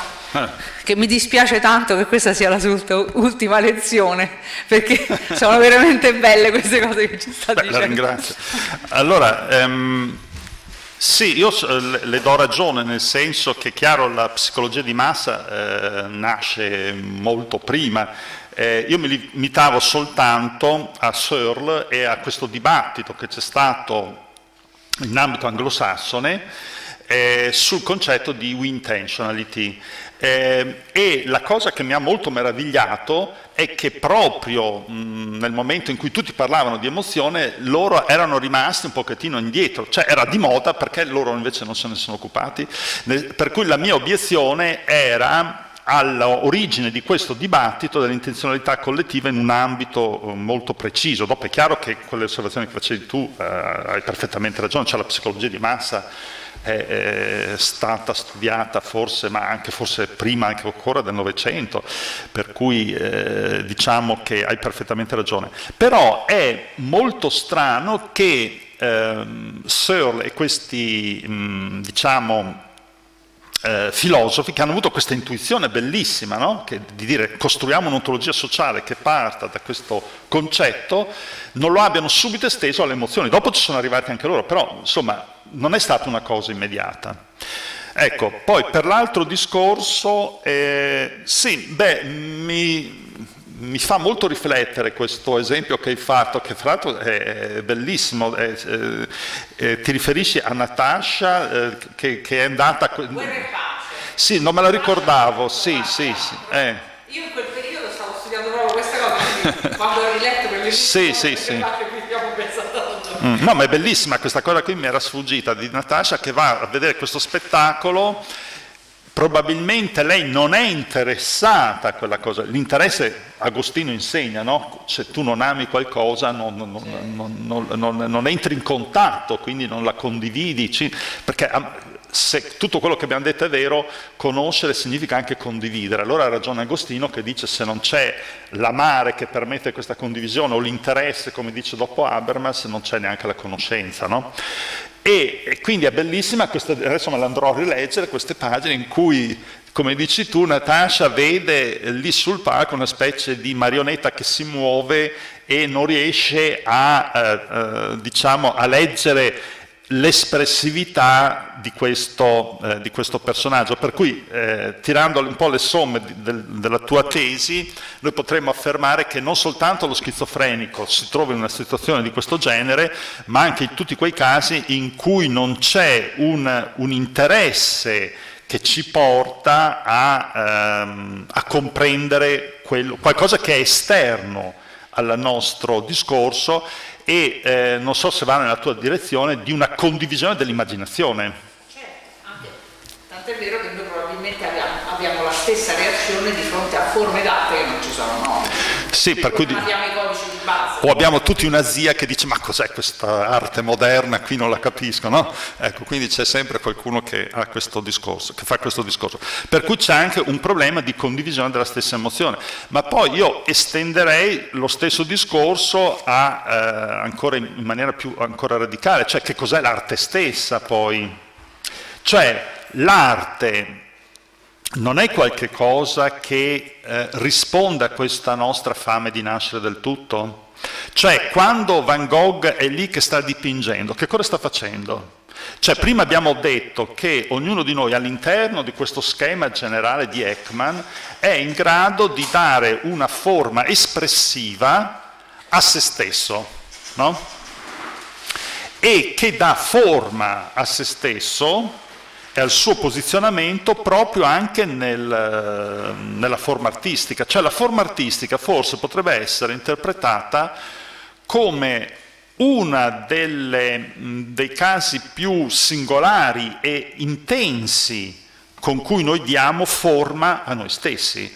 Eh, quello che voglio dire, se questo è vero, tutto sommato tutti, mi pare cosa ha fatto? 800 quadri in, no 200, ha scritto uh, Van Gogh, ha fatto uh, moltissimi quadri, lui era lì che in, in otto anni mi pare che abbia fatto veramente moltissimi quadri, cioè tutti quei quadri lì in, in, realtà erano degli autoritratti, anche quando dipingeva il campo di grano, Van Gogh stava dipingendo se stesso, nel senso che stava dando forma a se stesso nella sua creatività artistica.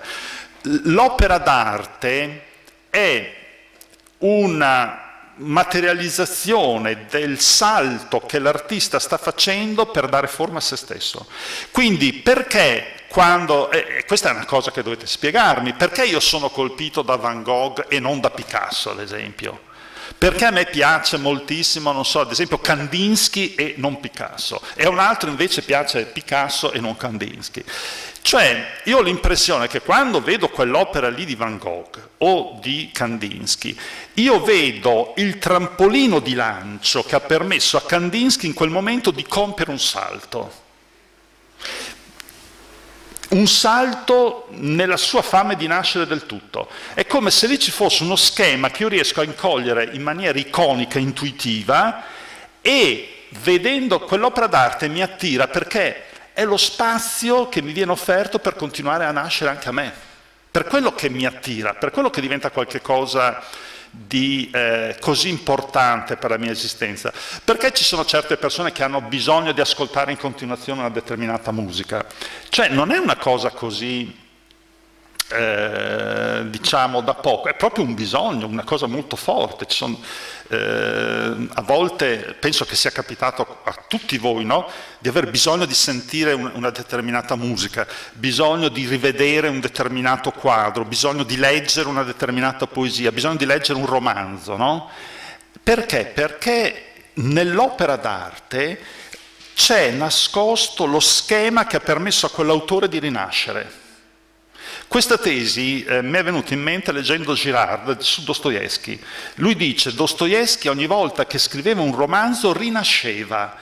Il romanzo di Dostoevsky è una metamorfosi, lui attraverso ogni romanzo è rinato ed è diventato un'altra persona. La tesi di Girard poi è veramente molto bella perché dice all'inizio Dostoevsky era un deficiente, c'era una persona veramente eh, ingenua, stupida e attraverso questi vari passaggi diventa un genio, quindi ci, ci sono diverse evoluzioni e eh, in ogni romanzo che ha scritto lui è rinato ed è riuscito a diventare un'altra persona.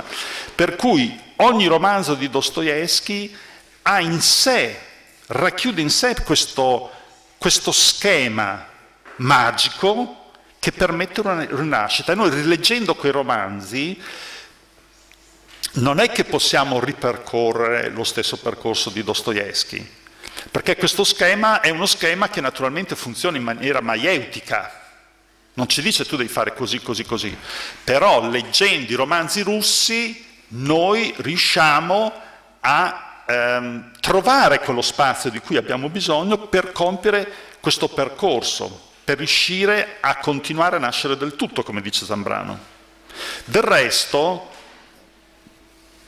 il problema è questo, se un bambino non vede come si controlla l'ira o la rabbia, come fa a esprimerla?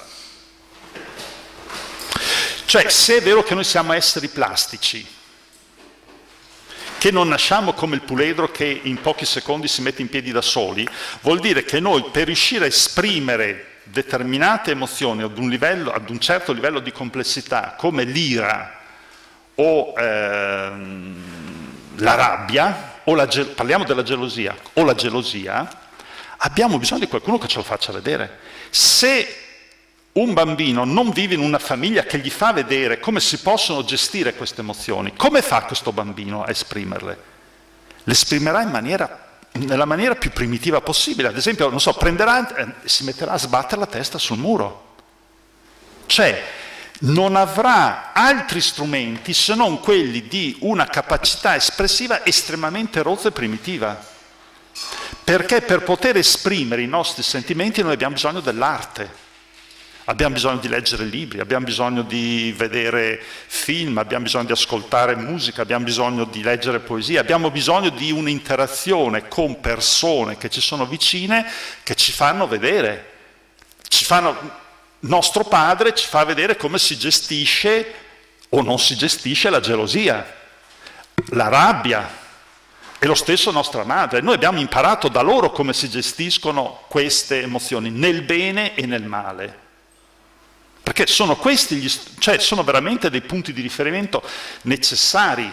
Se non ci sono questi punti di riferimento, il nostro livello di espressività rischia di ridursi a quel bambino che per esprimere la rabbia sbatte la testa sul muro, si dà i pugni in testa, perché non ha altri strumenti espressivi. Quindi da qui l'importanza dell'opera d'arte. Prego.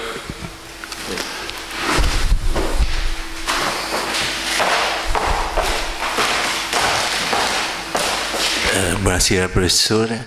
La mia domanda è ehm, come si spiega, eh, in base a quello che ha detto lei, nel film di Stanley Kubrick, il monolite, cioè che da un passaggio eh, più rozzo si può passare misteriosamente ad uno stato più evoluto, se c'è un nesso, un po' difficile, diciamo, un po' sì. forzato forse.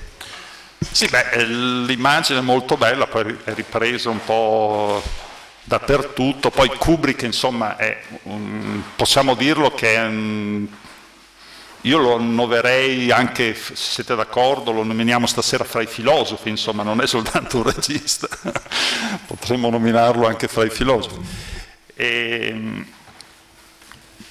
diciamo che lui eh, se la cava molto, diciamo in maniera, se la cava molto bene, nel senso che in maniera metaforica no, arriva a questo monolite e eh, questo contatto con questo monolite spiegherebbe il passaggio, questo salto eh, che viene compiuto eh, dall'uomo, dall'umano verso il pensiero simbolico.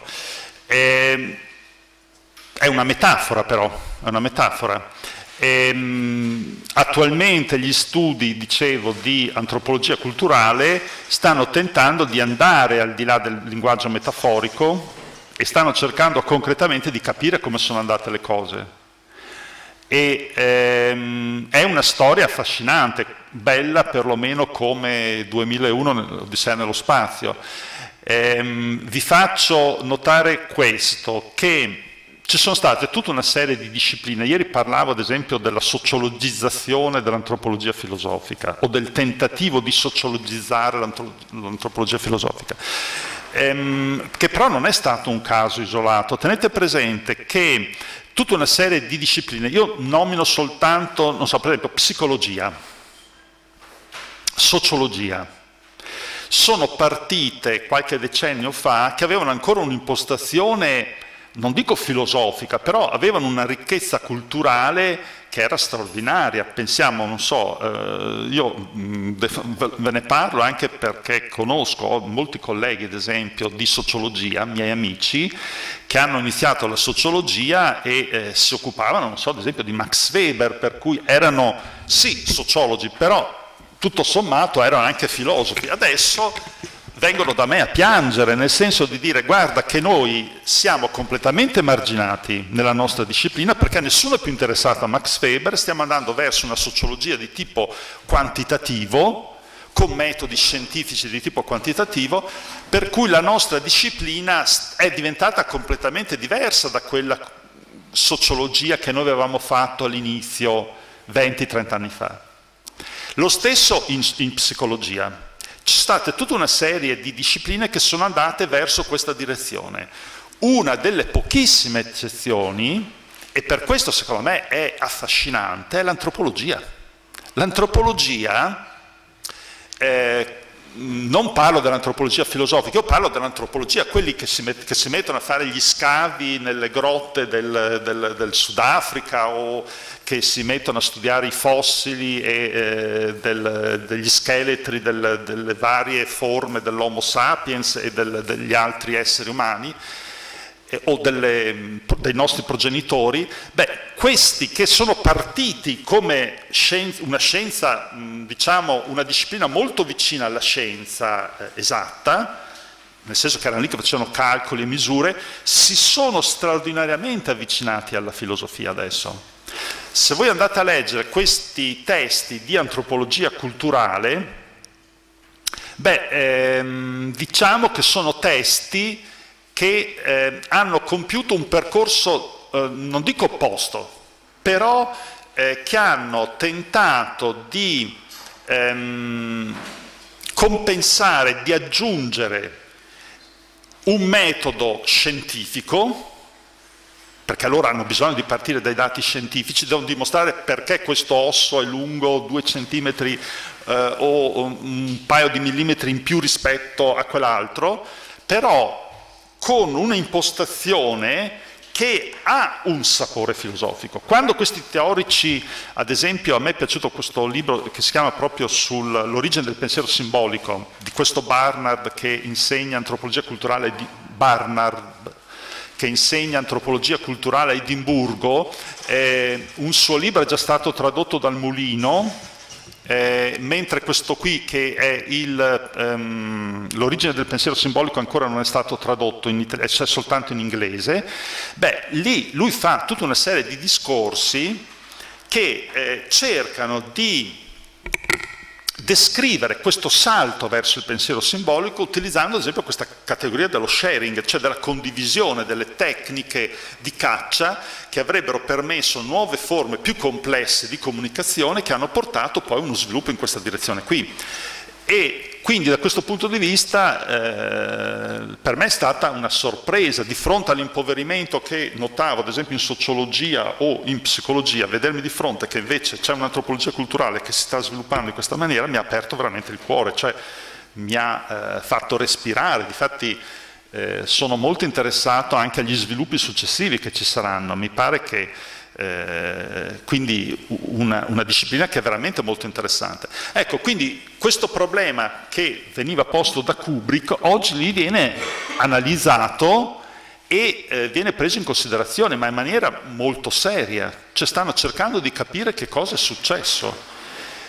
Ehm, tutto è iniziato da Tattersall, che è questo grande antropologo, che ha eh, messo in discussione quello che era un dogma fino agli eh, anni 70-80. Secondo eh, la scienza antropologica eh, fino a quel momento il dogma dell'evoluzione è che c'era uno sviluppo graduale, per cui gradualmente si sarebbe ingrandita la scatola cranica del cervello, gradualmente eh, il cervello sarebbe diventato sempre più grosso, poi a un certo punto per magia ha superato non so quanti, un determinato un numero magico che misura la, la, la, la massa cranica, tac, l'uomo è diventato intelligente e ha fatto il salto verso il pensiero simbolico. Tatterson è stato un genio perché ha detto no, questa ipotesi è completamente sbagliata, l'evoluzione non procede in maniera graduale ma per salti c'è stato qualche cosa a un certo punto che ha determinato una serie di salti che ha portato alla nascita dell'Homo sapiens e successivamente al salto verso il pensiero simbolico. È intervenuto un fattore extrabiologico, lui dice proprio così, e lo individua, eh, dice eh, questa evoluzione può essere spiegata soltanto se è intervenuto un fattore relazionale, un fattore culturale, cioè qualche cosa che non ha a che fare soltanto con la biologia. Da questa ipotesi di Tattersall poi si sono sviluppati tutta una serie di eh, ricerche che hanno sviluppato questa tesi e che stanno andando verso una ricostruzione di quelle che possono essere state le varie fasi. Per esempio, eh, Tattersall era ancora legato all'ipotesi per cui eh, questo fattore culturale era eh, identificato con il linguaggio, però questa chiaramente è un, un mordersi la coda, perché tu non puoi dire che l'uomo ha fatto il salto verso il pensiero simbolico attraverso la massima espressione del pensiero simbolico. Questa chiaramente è una contraddizione che deriva dal fatto che all'epoca, diciamo così, c'era la svolta linguistica, cioè per cui era, tutto era linguaggio e c'era una specie di, di, di, di cappa mentale, per cui era chiaro che lui è caduto su questo banale incidente di percorso perché eh, tutta l'epoca spingeva in quella direzione. Barnard, ad esempio, ha già superato questa, questa tesi e eh, afferma che eh, questi eh, nostri progenitori, quando hanno inciso quei segmenti su questo ehm, reperto di ocra, eh, in questa mm, Bombos Cave che è stata scoperta nel Sudafrica e che eh, sembra risalire a 77.000 anni fa, non possedevano ancora un linguaggio verbale articolato. Per cui lui afferma che eh, il salto verso il pensiero simbolico ha preceduto l'utilizzo di, di un, linguaggio verbale articolato, che è un'ipotesi molto interessante, che non esclude che ci siano stati altri tipi però di linguaggio, linguaggi corporei, linguaggi non eh, articolati, come quello che sto usando io adesso. Però è molto interessante perché ci fa vedere appunto che eh, questa ipotesi del linguaggio verbale articolato ehm, va messa in discussione. Lo stesso Tomasello aveva anche lui verificato questa ipotesi, cioè su il livello dello sviluppo del, di un bambino. No? Allora anche lì uno si potrebbe dire, ma è chiaro che un bambino riesce a compiere il salto verso il pensiero simbolico? Per forza, ascolta il linguaggio della madre e attraverso l'ascolto del linguaggio della madre compie questo salto. Cosa ha fatto una persona intelligente come Tomasello? Ha detto va bene, io provo a verificare se questo è vero. Come ha impostato l'esperimento Tomasello per verificare se questo è vero? Ha preso dei neonati sordomuti che non potevano ascoltare quello che diceva la madre e ha verificato che nonostante fossero sordomuti erano in grado di compiere ugualmente il salto verso il pensiero simbolico. Questo dimostra, secondo Tomasello, che questo salto verso il pensiero simbolico non deriva dall'ascolto del linguaggio verbale articolato della madre, ma da qualcos'altro, che lui chiama questa logica di tipo cooperativo, solidaristica, che guida queste pratiche di condivisione emotiva. Quindi la mia risposta sarebbe questa.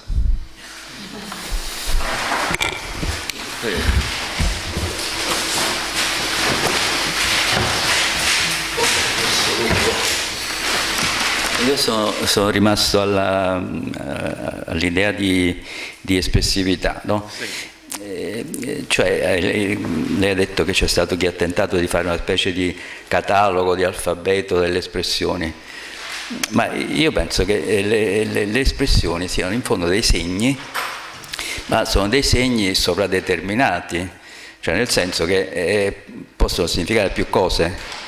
Cioè un sorriso può essere di, derisio, di derisione, di disprezzo, di empatia, di antipatia, di, di che ne so, eccetera. E allora che cos'è che eh, ci permette di comunicare il senso, il significato di questo segnale? eh, si, si, si, recepisce l'intenzione che c'è alle spalle, quello che lei chiama il contesto, l'intersoggettività. Però prendiamo per esempio eh, negli animali, eh, due cani che si affrontano ehm, possono fare le stesse identiche eh, espressioni corporee, sia che stanno per aggredirsi, sia che vogliono giocare Ora il cane capisce che quello che sta facendo, lo stesso movimento di un'aggressione, in realtà sta giocando. Allora come, come, si avviene questa comunicazione? È un problema, cioè la ricezione di questi segnali sovradeterminati è problematica. Sì, eh, sono perfettamente d'accordo, però eh, io le farei, eh, risponderei con un'altra domanda.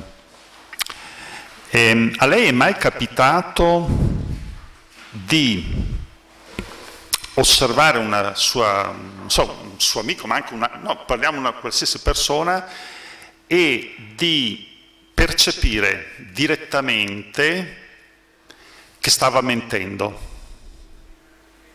Penso che questa è un'esperienza, che abbiamo fatto tutti, cioè noi non soltanto siamo in grado di percepire nel sorriso dell'altro che è felice, ma siamo anche in grado di percepire che lui sta mentendo con quel suo sorriso. Quello che voglio dire è che ehm, il livello con cui noi riusciamo a ehm, decifrare questa espressività dell'altro può essere anche molto complesso. Può esserci non soltanto che io riesco a percepire il tuo sorriso, ma riesco a percepire che il tuo sorriso è falso. Cioè riesco a percepire uno scarto fra la tua espressività e la tua intenzionalità purché tu non sia Marlon Brando, che cioè un bravissimo attore, è chiaro che allora lì siamo fregati, oppure una donna molto affascinante, per cui noi vediamo certe cose, non altre, è chiaro che lì siamo fregati lo stesso. Per cui eh, quello che voglio dire, cioè noi nell'espressività siamo anche in grado di notare questo scarto fra l'espressione e il vissuto. Questo secondo me ci porta un po' al cuore del problema.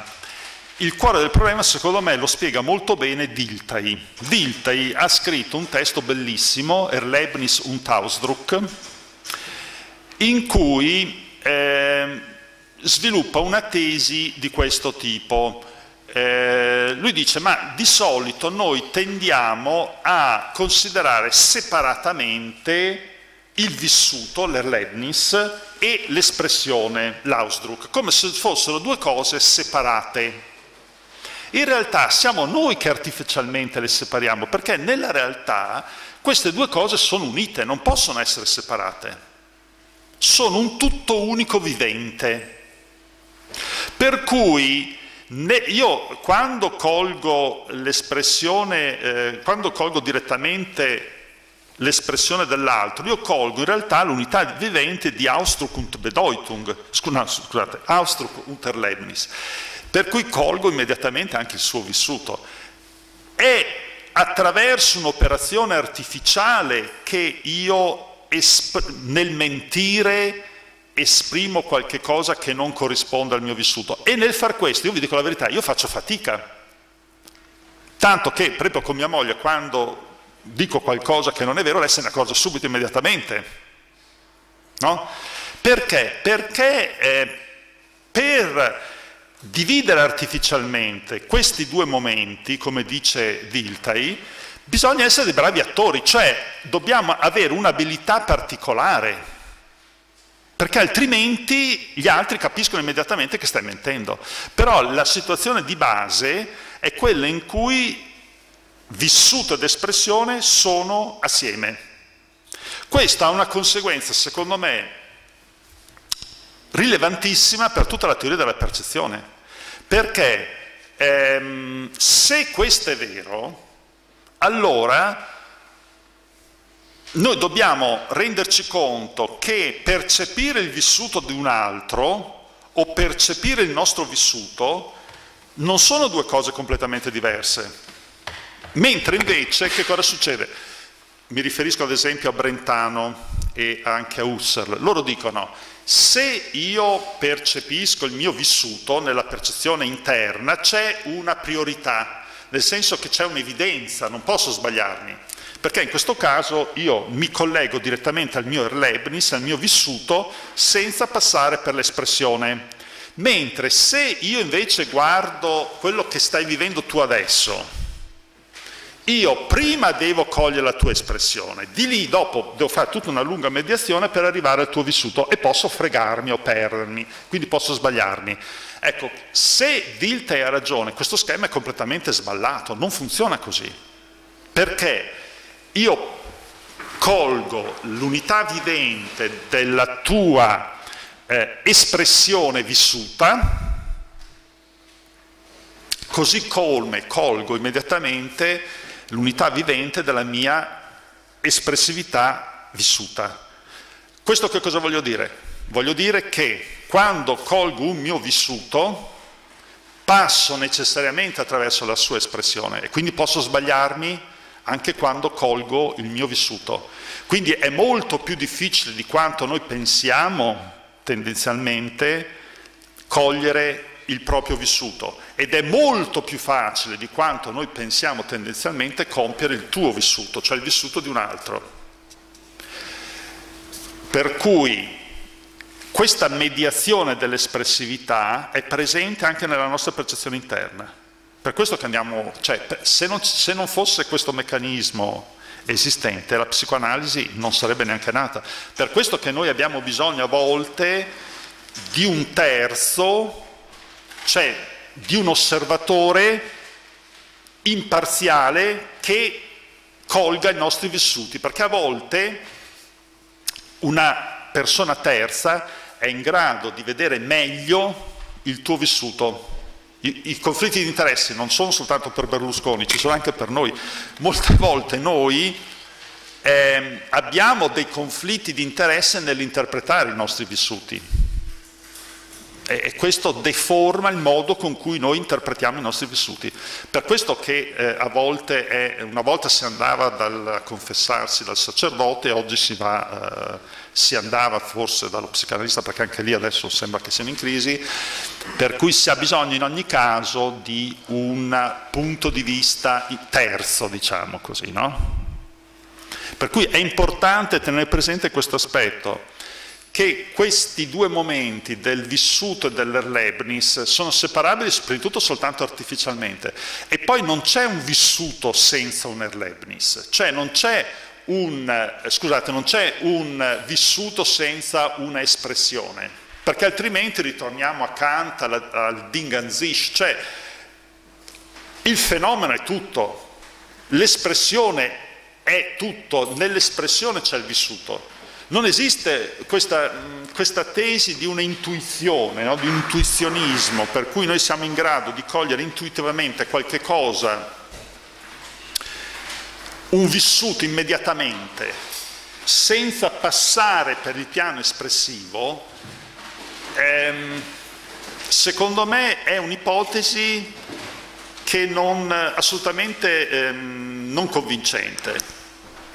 Io mi ricordo che quando facevo l'università a Bologna eh, seguivo da un lato le lezioni di Umberto Eco e dall'altra quelle di eh, Enzo Melandri. Enzo Melandri era un husserliano sfegatato e Umberto Eco spiegava Charles Sanders Peirce, che è eh, questo grande, ehm, secondo me un grandissimo filosofo, il più grande forse filosofo americano che ha fondato la semiotica e eh, a me ha convinto questo ragionamento di Peirce, diceva tutto è segno, tutto è segno, non è possibile una intuizione intesa come un processo cognitivo che fa meno dei segni. Automaticamente noi arriviamo a questo triangolo semiotico. L'unica cosa che ehm, diciamo, ammetteva Peirce è l'abduzione, che sarebbe un caso estremamente semplificato, che però implica necessariamente la mediazione segni anche, anche quella. Per cui tutto è segno, la conoscenza avviene attraverso segni. Eh, la conoscenza del vissuto avviene attraverso l'espressività. È impossibile separare il vissuto dall'espressione. Noi sentiamo qualche cosa nella misura in cui l'esprimiamo. Se non riusciamo a esprimerla vuol dire che non eh, che sta emergendo, quando sentiamo che qualcosa sta, emer eh, sta emergendo l'espressione di qualche cosa, vuol dire che sta emergendo anche il vissuto, perché ancora non si è formato, non esiste neanche il vissuto, il vissuto esiste soltanto quando si esprime, va di pari passo all'espressività. Sì?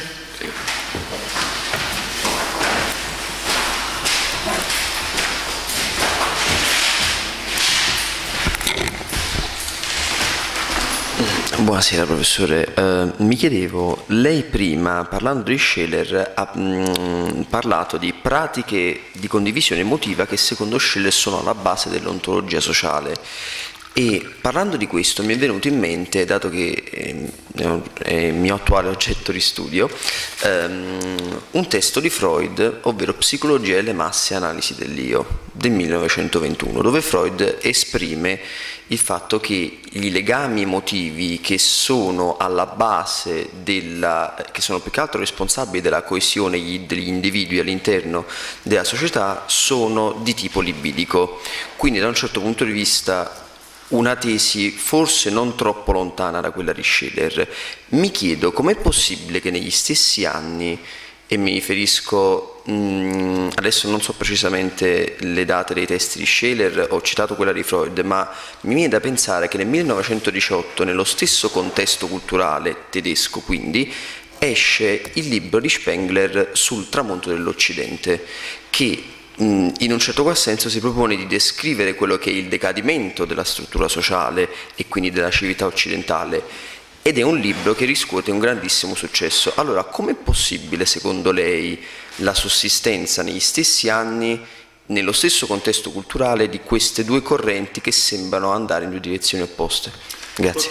Queste due correnti ti riferisci? Scheler, Mi riferisco a Scheler e Freud, quindi Ehm, l'idea della emozionalità alla base del, ehm, della coesione sociale e parimenti un altro autore come Spengler che non parla di coesione sociale, bensì di come essa stia decadendo più che enunciare le, mm, ehm, le, mm, il, quello che è alla base del, della sua Costituzione. Sì.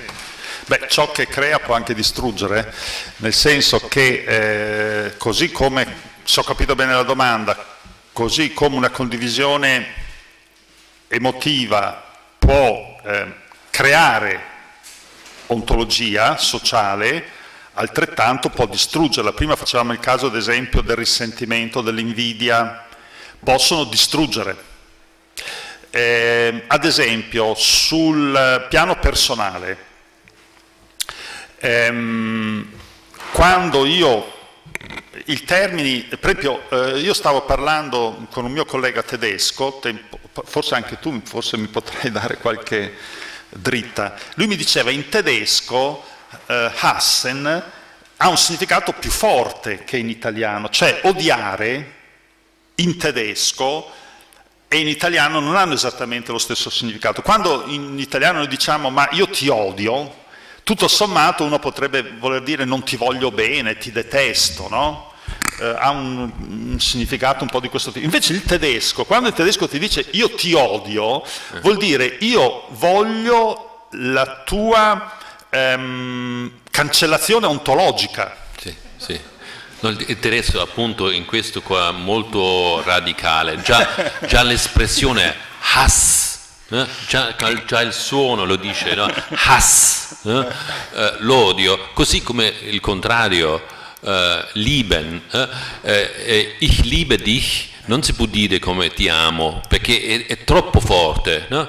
Ich mag dich, ti voglio bene, sì, ma infatti, eh, sì. ich liebe dich è una cosa troppo forte, non si può dire in, in modo così facile come sì. si dice ti amo. Al contrario dell'inglese in cui invece I love you è una cosa molto anche tra amici, no? E, e, ecco, per cui sono contento che lui conferma, non ci eravamo messi d'accordo prima, conferma questo discorso.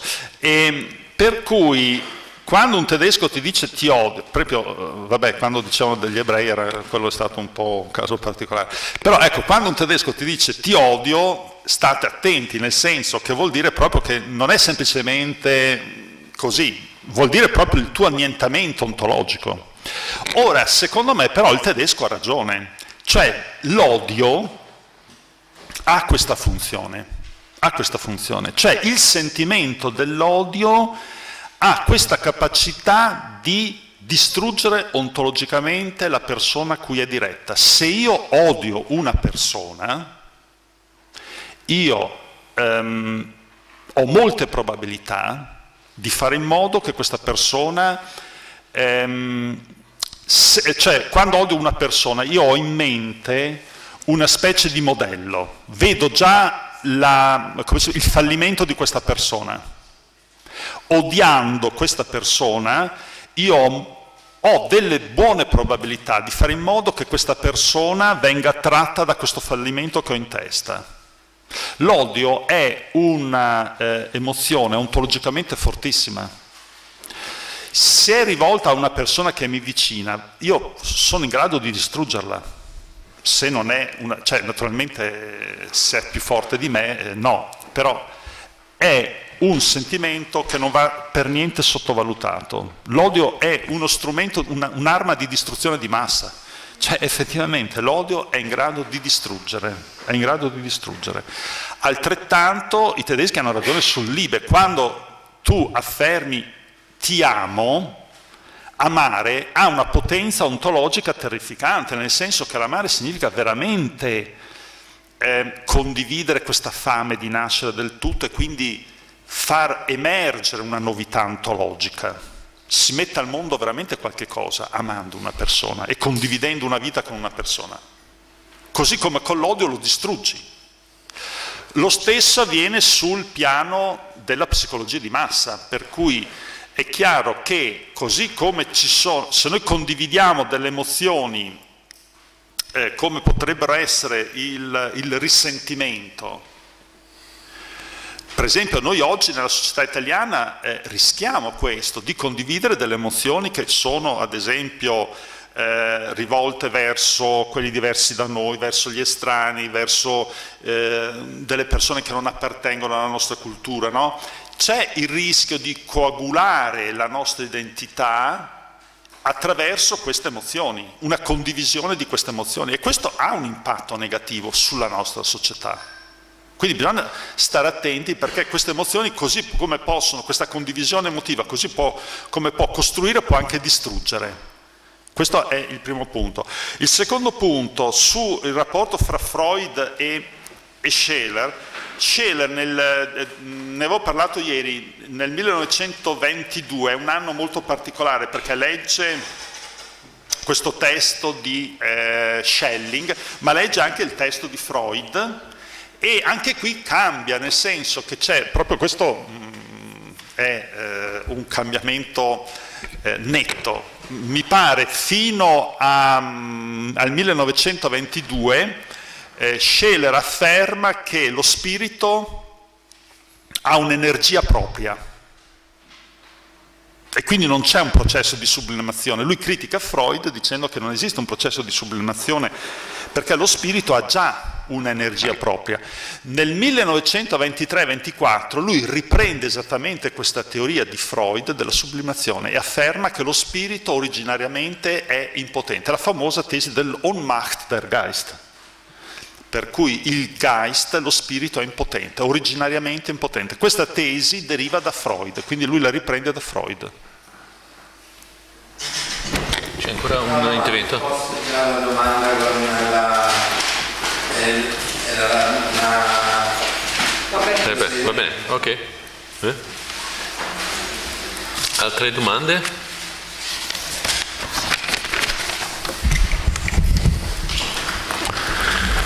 Allora, grazie anche di questa seconda parte del dibattito che era altrettanto ricco. Eh, su, su vari temi, dal, dalla fenomenologia all'antropologia, anche nel senso lato, eh, con questa tesi della fabbricazione sociale eh, dell'essere umano che interviene anche sullo stesso sviluppo biologico, che questa è la svolta diciamo, da, eh, da, dagli anni 60-70 in poi si può dire, fino a, alla riflessione sullo sviluppo uh, di, delle discipline della sociologia, dell'antropologia, eh, un tema che ci è interessato anche particolarmente eh, chiedendoci che cosa è l'antropologia, che cosa è la sociologia, perché eh, abbiamo questo problema oggi che eh, a differenza del passato eh, le discipline non agiscono nel senso interdisciplinare ma si fondano in modo che non si riesca più a comprendere che cosa è l'antropologia, che cosa è la sociologia, che cosa è l'economia, perché eh, ci sono antropologi che fanno studi che potrebbero essere catalizzati anche come economia o scienze politiche. E in questo senso eh, era una, un, un, tema eh, che ci interessava anche molto di comprendere lo sviluppo della sociologia e dell'antropologia. Grazie e speriamo di rivedervi.